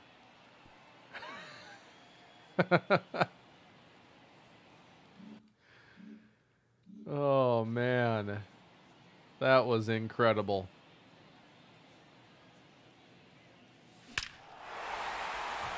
Ji-Man Choi to right field, and it's gone. The Pirates might be too good. Where do you think Lamar gets traded to? You know, I've thought Atlanta was an intriguing team. I know they're not like a, a team that was would be likely to win, like significantly, but that is a weak division. If you have a quarterback, you have a chance. I think Atlanta's a really, really interesting team there. Uh, the Colts, I guess, could make it work as well. I don't see it happening with the Vikings. I think there are too many moving pieces there with Cousins' contract and then what that would do salary cap wise. So, Falcons, Colts. Ah, I tried to hold back on that. That time he didn't miss over the plate with his slider. That's a sign that you should use the pirates. We've had a lot of signs, though, in this stream.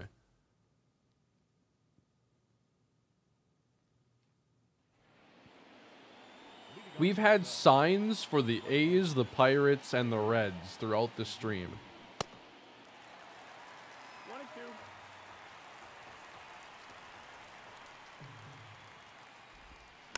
Yeah, I think I'm probably.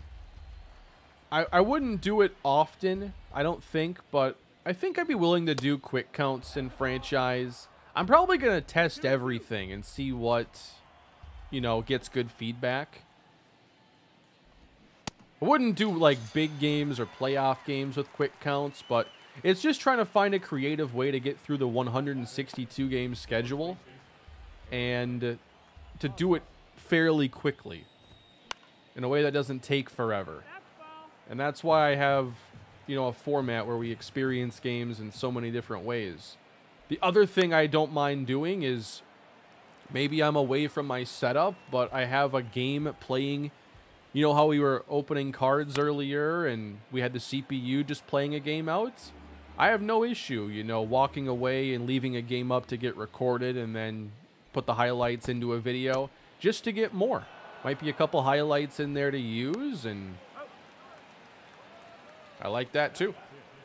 I also like the idea of doing some occasional streams and including those highlights in episodes and allowing those streams to just kind of be a way to see a lot more of the team, kind of optional content.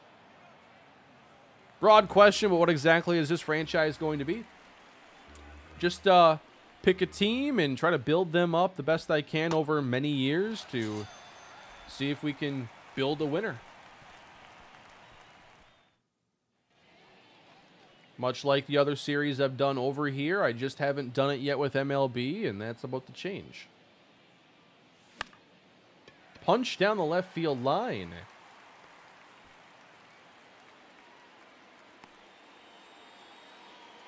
As a Viking fan, I'm not in on this quarterback class. Anybody worthwhile will cost too much draft capital that we don't have. They are in a weird spot. It depends how aggressive you're willing to get. I think trading a future first round pick, if you see an opportunity, is, you know, the thing that would be setting up for a team like the Vikings that doesn't have the early pick to make it happen right now.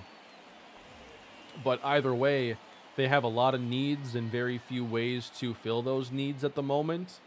The one thing I think that you have to remember, though, with the Vikings No, that's down. Ball. is that the bulk of the rebuilding that has to be done is on defense, and they play in the NFC. So I think they're still far away from being a, a championship contending team. But I do think, you know, them being competitive and possibly a playoff team again, I don't think would be asking much. Although my feeling on things right now is they are going to take a pretty big step back this year, and I'm not sure they're going to be a playoff team. But we'll see how I feel after the draft. I think right now, it's not like I have a super negative feeling about specific players on the team or that it's a Kirk Cousins related opinion. I just think like you know, they caught a really good uh you know, really good variance last year. One score games went their way. Green Bay was terrible for 75% of the season. They went uh, five and or four and two in division. Every year things are different, and every year they've made the playoffs. I assume they'll take that next step the following year, and they have not done that in over a decade. The last time they had back-to-back seasons in the playoffs was 08-09. And uh, I just think the Vikings might not be very good this year, and I say that as a Viking fan. That's a strikeout. I think Detroit deserves to be the division favorites right now, and they currently are from what I've seen. The Packers over under at 10 wins, I would take the under all day because the Vegas total would be seven and a half or around that. A 10 win projection is reserved for like teams with 70% chance or higher making the playoffs, roughly, I'd say.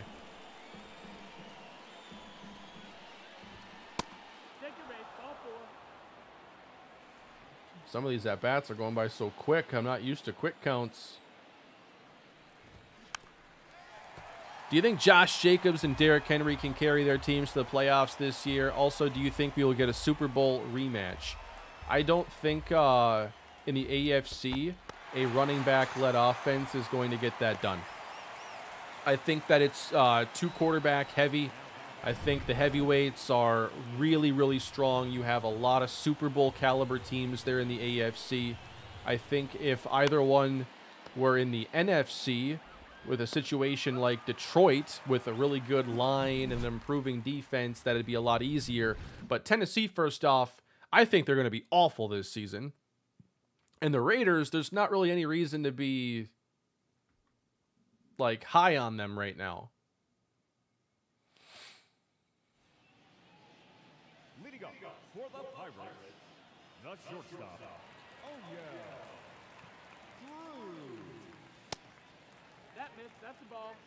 I will be playing the games in, like in the Rockies franchise, yes.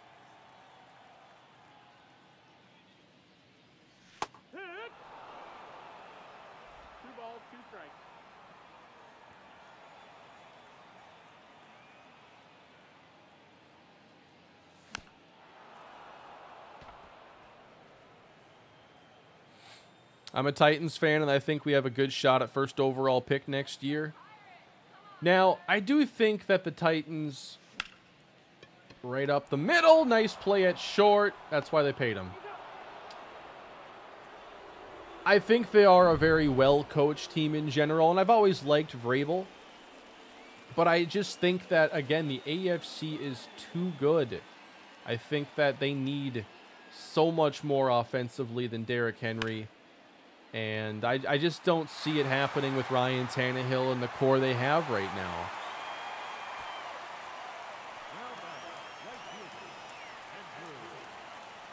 The Jaguars are a significantly stronger team. We'll see what happens with the Colts and the uh, the Jags.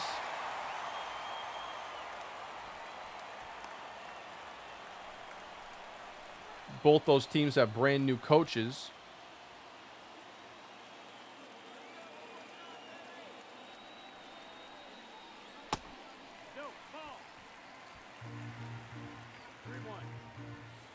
Do I think Vrabel gets fired at some point next season?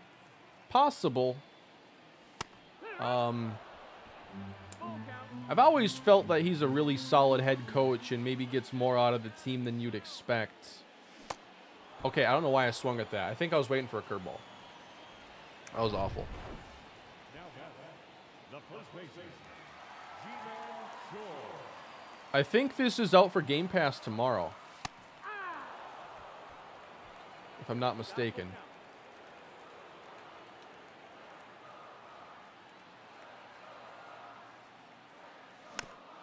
Ah, just a piece of it.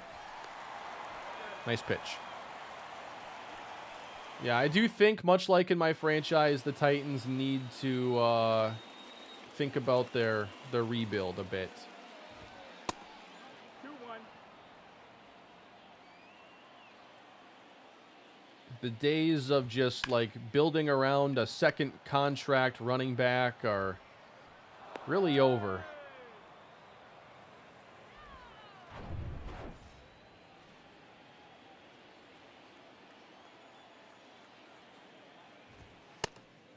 That's a ball.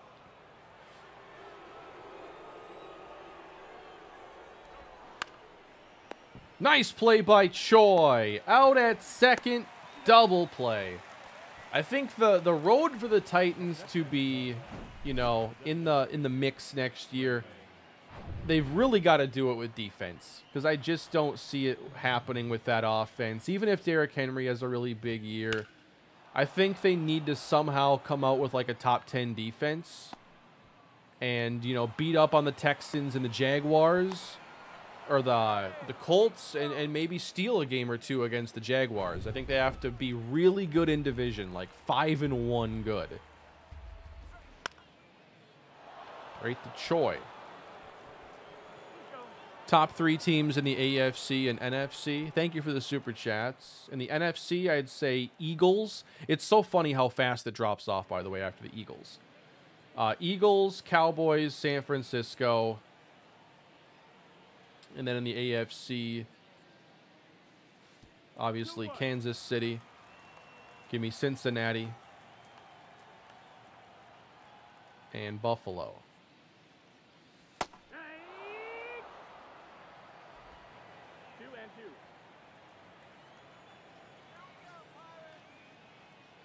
Bottom four. Ah, I don't like how late I'm getting on some of these swings right now. If the Jets get Rodgers, I don't think they'll be favorites, but I think they'll be within a game or two of the Bills looking at uh, odds.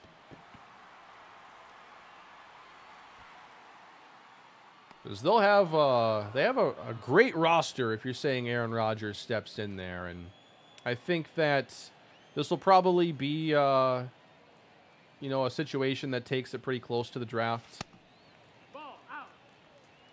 I love the Lions' moves. I think the, I look at their moves and I think they're going for the division this year and they're really trying to uh, have that big year. They signed a lot of veteran defenders in the secondary. You know, they have this great offensive line. They have some really good playmakers on offense. They have a good thing for Jared Goff. You know, if you're going to have a non-elite quarterback, you need to give him, you know, an above average offensive line. Give them some good weapons, and they've done that. I still think they could use a weapon, and I'm not quite sure, like, where is Jameson Williams at this point? Because I think he had one catch last year against the Vikings for a touchdown, but they traded away Hockenson, so they really don't have anything at tight end. They have just blockers, basically. Brock Wright and, oh man, I can't remember the, the other guy. Nope. Ball four. Take your bait. Ah, Mitchell, something, James Mitchell.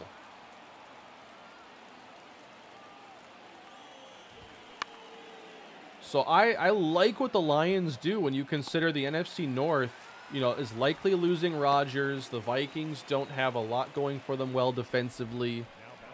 And they played, you know, an unsustainable style last year, and they have to find better ways to win. So, I mean, that's the Lions division if they want it this year.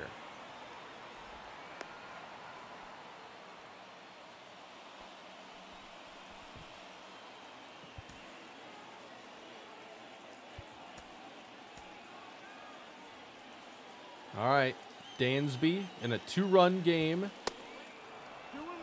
Runners at the corners, one down here, top five. There we go. Two and two. Ooh, keep it down. Let's go with the slider. Too high.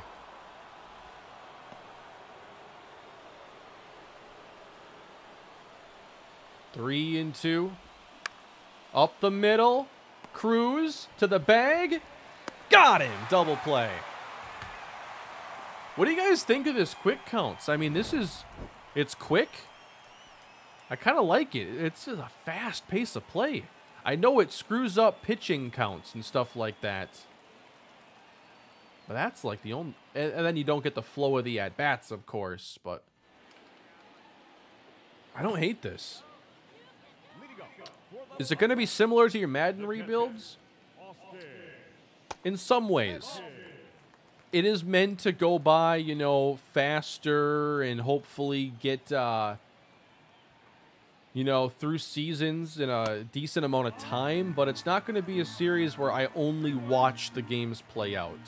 You're going to experience games in a lot of ways. I'll be playing through full games, maybe some quick counts, some player lock, some quick manage, and then jumping into a game. So in some ways it will be like the Vikings franchise, but the big difference is I'm actually playing. I haven't decided on a team, but I feel like, you know, the the Reds, A's, and Pirates are really the teams I'm feeling the most. Yeah, the one thing you lose though is uh one pitch at bats.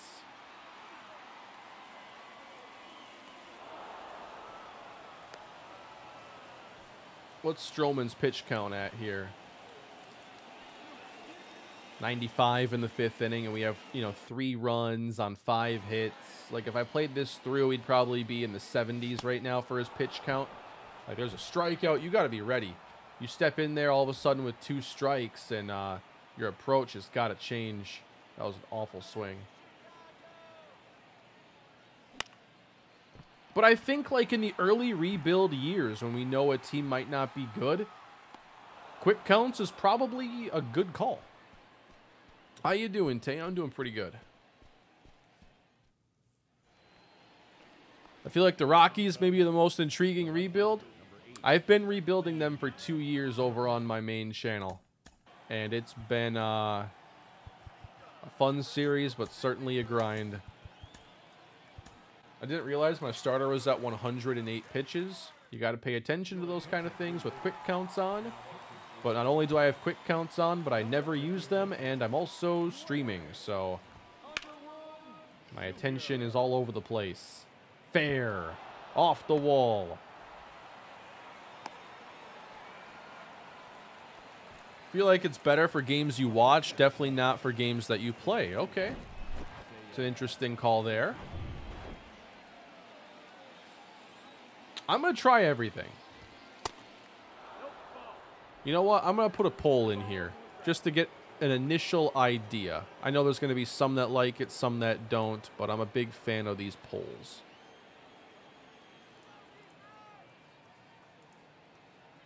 If I had the pitch clock right now, it would be a problem.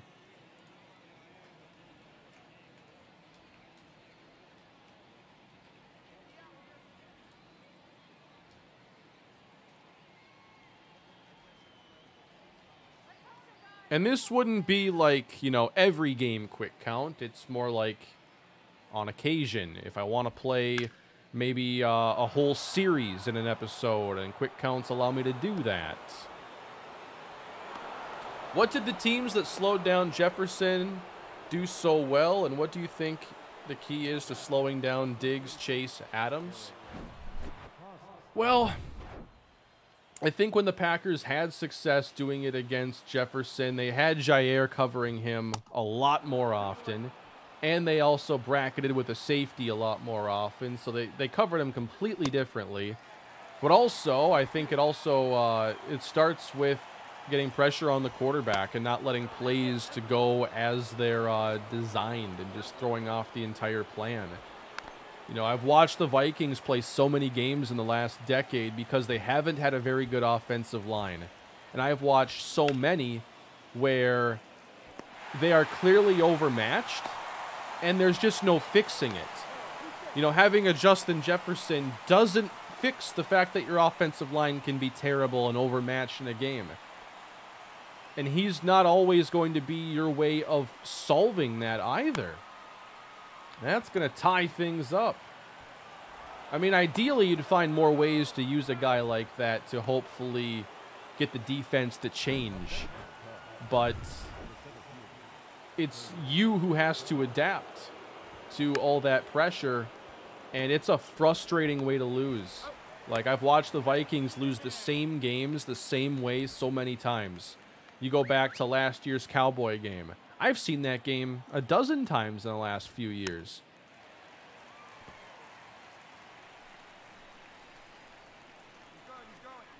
Runner goes, and uh, we lost our lead, by the way. So, I mean, if you can pressure a quarterback, you can probably slow down the team's number one receiver just because you're going to get sacks and third and longs and very quick three and outs. And then uh, a method of double coverage I've always liked is put your best corner. I mean, there's multiple ways you can do it. But depending on your scheme, if you can use your best corner on the second best receiver, but then use some sort of uh, double coverage technique on the number one. That's an option. Nice. Typically, you know, you're going to stick your number one on their number one. That way you don't have to adjust the scheme as much. But honestly, I think the easiest way to slow down a receiver has nothing to do with the receiver. You got to affect the quarterback.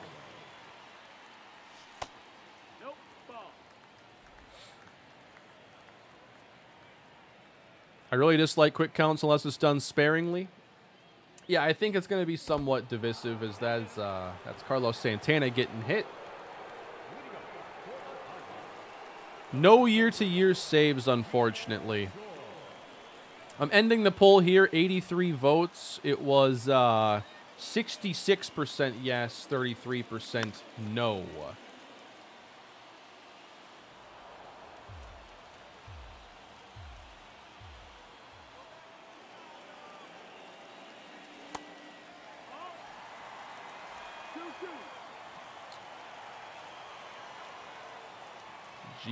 Choi.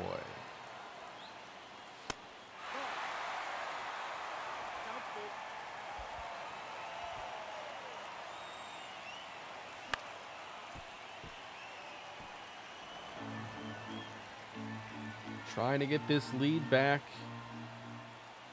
in our possession. That is going to get through into right field, and Choi gets his second hit. All right, we got two on, nobody down. Let's go grab that lead. Keep Ryan.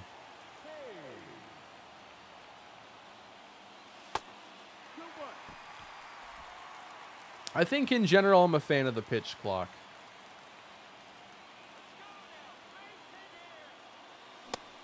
But I wonder if like could you have a warning instead of like automatic strike, automatic ball for a first infraction? Ah, jammed again.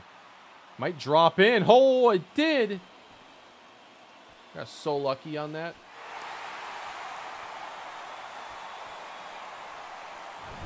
I think I'll like it for everything that isn't the ninth inning, honestly. I, I don't want it to decide games, but speeding up games in general is uh, something I'm okay with. Possibly on the next Super Mega Baseball, but we haven't heard about that in a long time. I'm not sure what they're working on. You should test hitting with the strike zone completely off. I think you'd see uh, some bad swings. Oh, no, he came up empty. Everybody's moving up. Two runs score, and the Pirates go up 5-3. Uh-oh.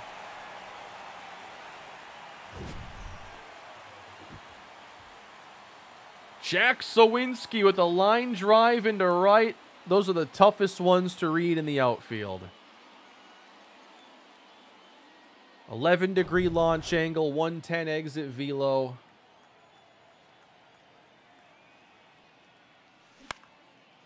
Castro into right, and everybody can move up once again. Buckos go up three. SMB4 just got rated? Well, that'll be on my radar.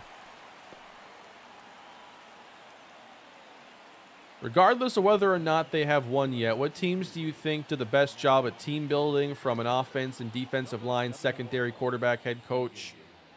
I've always felt like both the Ravens and Steelers do a pretty good job in their front office of uh, maintaining their defensive identity and being like uh, teams that are always like in the conversation. You know, they they've won their divisions and went to the playoffs a bunch but they're rarely like the favorites to go all the way. I think Philadelphia is kind of the the gold standard right now of front office management and just maintaining uh, their roster.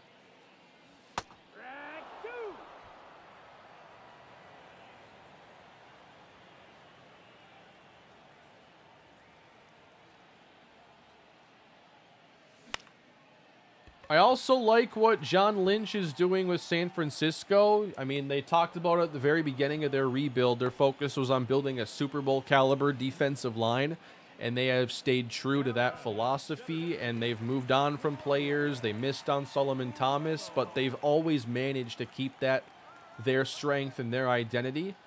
And they've built like an offense where every player is like, there's no square peg round hole situation. Like the offense is constructed very meticulously. And so I love the way they do things as well.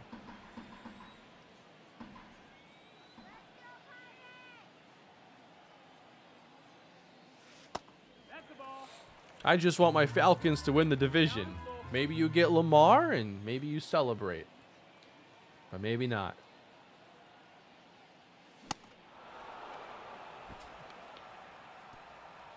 But now it looks increasingly likely that he's not going to be going back to the uh, to the Ravens.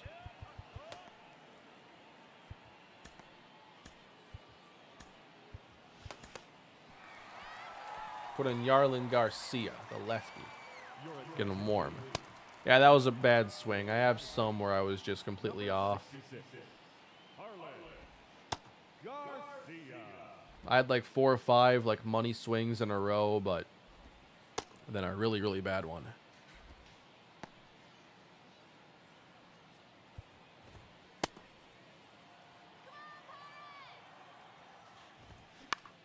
Lamar is from Florida, correct? I know there are a lot of rumors about Miami like last year, but that doesn't seem like it's close at all. Definitely not the Jags, and I don't know the Bucs. You know they're they're so.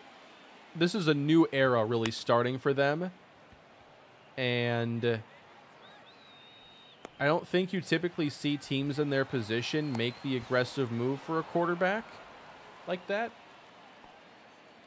What about Seattle, Dallas, and Buffalo? I think Dallas, I think Jerry Jones is a little bit underrated as like a general manager and stuff. He's done a pretty good job over the last 10 years with some things. I think he has a few blind spots. Maybe a little too uh, loyal to Zeke at times. And obviously now they released him, but I think sometimes they uh, focused a little too much on him. Seattle, I think they deserve some credit, although they they did a phenomenal job last year, and I love that uh, they've managed to not be terrible after trading away Russell Wilson, and now they are in a position to not have to suck. Defense is getting a lot better. Nice. Strike three. Keep that runner at third base. So I think John Schneider's pretty good, but I also think that they spent too many years getting these random guys in the first round that didn't pan out. So Two and one. I'd have him a little bit lower. Buffalo, I think they've done a really good job building up that team. I do like Brandon Beane a lot as a GM.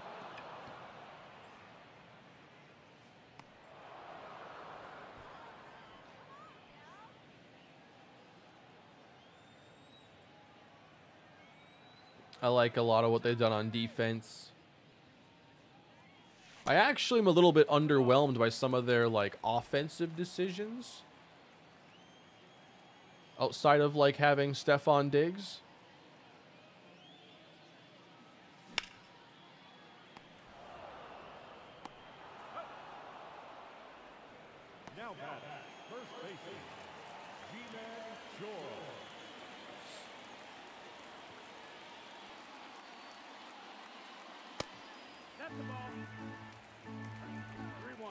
I do think Buffalo needs to find that other weapon, whether it be a running back or receiver, tight end.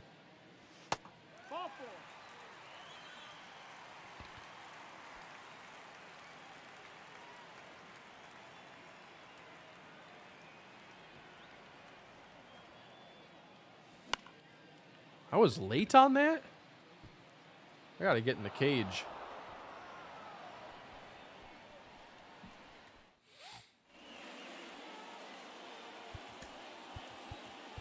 Robert Stephenson. Had a good year with him in the Rockies franchise. It did not look like that.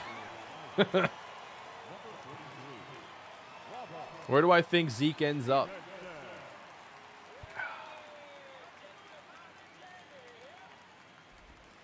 Who could use a grinder?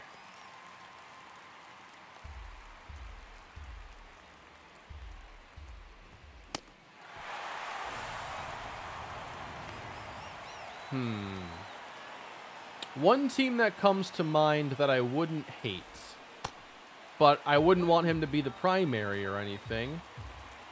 I think Seattle's kind of interesting with uh, Penny gone. See you later. What settings do you use for pitching and batting? So I use uh, pretty old school settings. I play on Hall of Fame difficulty, but I do have uh, classic pitching. So I just aim, choose the pitch, and player ratings take over. And for offense, I do button input with a timing interface. I do not aim with a PCI.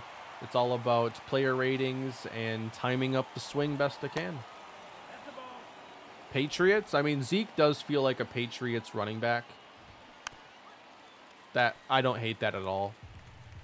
He'd be replacing Damien Harris. I didn't mind the Harris signing with Buffalo, though. I think like a, a good grinder like him would be uh, welcome there. I felt like they they were missing kind of that role in their backfield. Singletary did a pretty good job at times, but I just I don't know. I, I never really saw him and felt like you need to give him, you know, 12, 14 carries a game or anything.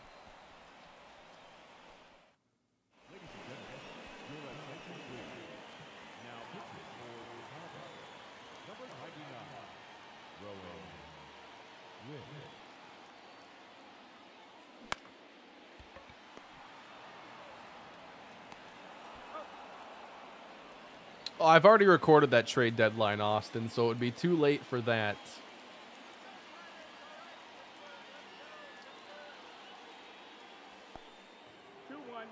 Didn't even flinch.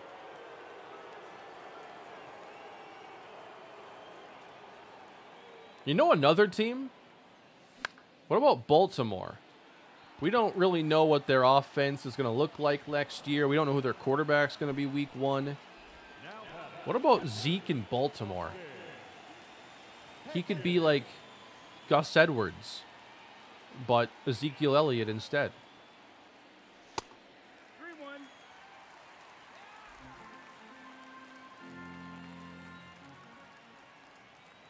JK and Gus already. Gus gone. Depends if you view him as an upgrade over Edwards or if it's meaningful at all.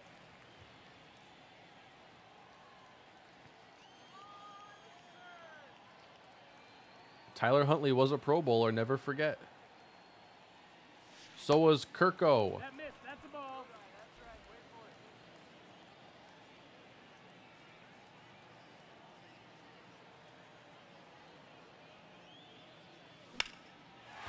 Going to left center, and that might plate another run. Wave him home. RBI triple.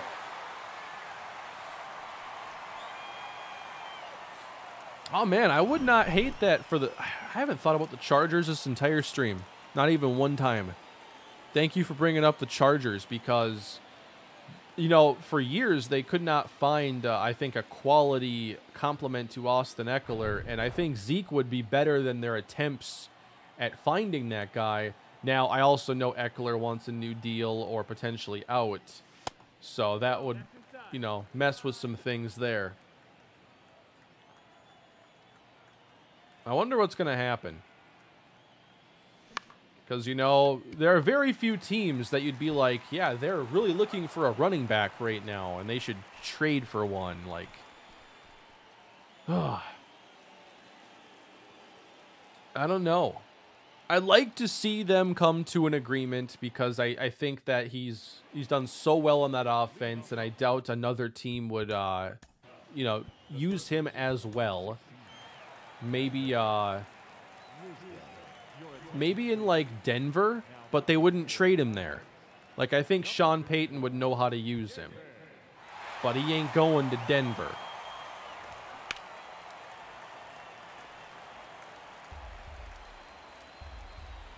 Zeke on Atlanta. I think with Tyler Allgeier, that would be a little redundant and roll and stuff.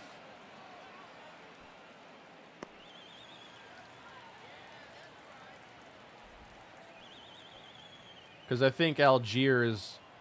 I, wa- I want to see him more in that role, getting the bulk of the carries, red zone work, and then find a complement, scat back type. Yeah, I, I'm really curious when Bijan goes. I think it's a an interesting litmus test because we've seen the NFL this year. They are not valuing free agent running backs. Alexander Mattison did not go somewhere to start on a big deal the way many second contract running backs have. He returned to the Vikings for two years, $7 million. And the deals that are being signed by guys like Damien Harris and um, who else has been signed this offseason? It's just not much investment, is all. So, when Bijan Robinson's available in the NFL draft, who takes him?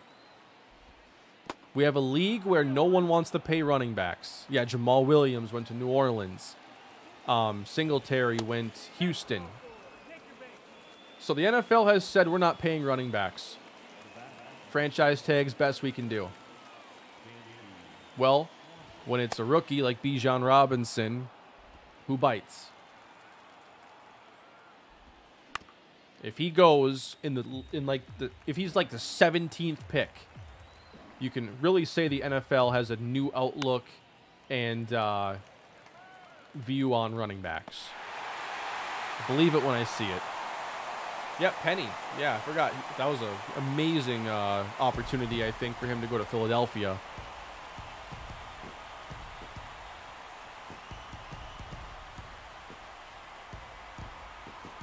And that's the thing for Ekeler. Like, when it comes to trades, who has the leverage? Nobody needs a running back that bad. Nobody needs Austin Ekeler. Arguably, the team that needs him most right now is the team he's on.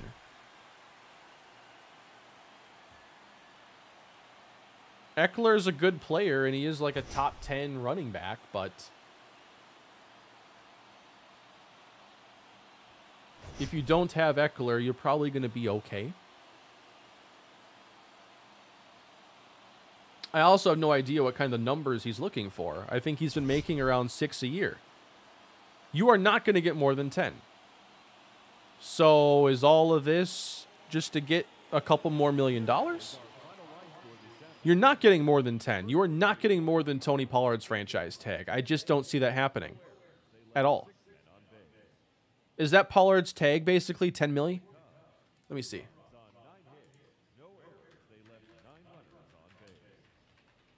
And uh, Josh Jacobs franchise tag. It is nearly $10 million, like on the nuts. So you're not getting more than that. Josh Jacobs is going to play on the tag. Tony Pollard's probably going to play on the tag. You can't get more than 10.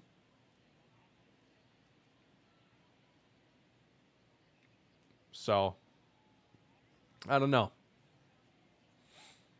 Maybe in training camp, when the dust has settled in the off season and they're sitting there with like five and a half million dollars in cap space or whatever the figure is going to be, they can give Ekeler a two million dollar raise and he shows up to camp. That's kind of how I see this playing out. Because I just don't see it being better anywhere else. I get him wanting more and everything. He signed a deal that was extremely team friendly. And he's still 27 with some value, but still. The market is what the market is. That was a fun game. We put up eight runs.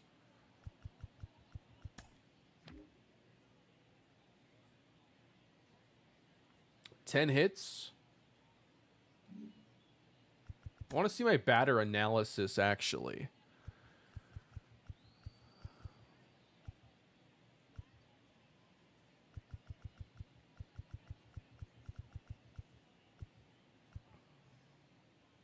Yeah, that uh lower left quadrant or uh zone.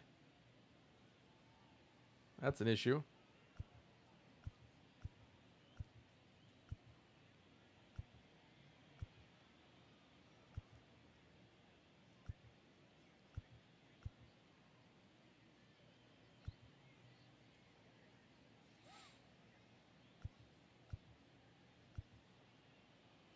A lot of hard hit balls in that game for us. Give me the highlight reel. I, I never check this out. Like, I want to see him. I think Ekeler can get around 10 from a team. Yeah, I think 10 is the ceiling. I think two years, 20 million, like guaranteeing the first year and Like the the Mattison deal was seven million dollars and like over five, I think, guaranteed. Like maybe you can get a team to go two years, 20, 15 guaranteed or something. Maybe. But are you going to trade to do it? Or does he have to get it from the Chargers? Because if they don't like what anybody's calling to offer, then they can ride this out till training camp. And if he will not show up, if he's willing to hold out, then you make the call if you are going to trade him for whatever you can get, or if you have cap space to just give him a new deal and get him back on the field because you haven't brought in a good second running back anyway. I agree, Mike. He would have been great there. But it's a lot of fun seeing CMC on a team where it's like that team is so perfect for him to succeed in their running scheme. I think obviously uh, some teams would use him more as a receiver. He's still got receiving usage, but uh, I love the way San Francisco deployed him last year. That was a very fun game. I got a big decision to make soon on the channel as to who my franchise team will be. I'm still going through it, but I think today, uh, I think today helped. Definitely got closer to knowing who uh, I want to use when it's time to launch a new franchise, hopefully uh, in the coming days. So that's going to do it for me, everybody. I hope you had a good time with the stream today. Please leave a like if you wouldn't mind. Subscribe if you haven't for the new franchise that will be starting up here on MLB The Show 23. I think ideally I would get uh, the first episode out in the next two days. And if I can do opening day on opening day, I think that would be fantastic. So thank you all for coming today, spending some time with me. Enjoy the rest of your day, and I will see you all next time. Take care. And thank you again, PlayStation, for giving me a code for this game, the cards we opened today, and a bunch of other cool stuff. Uh, very grateful for that. Take care, everybody. I'll see you next time.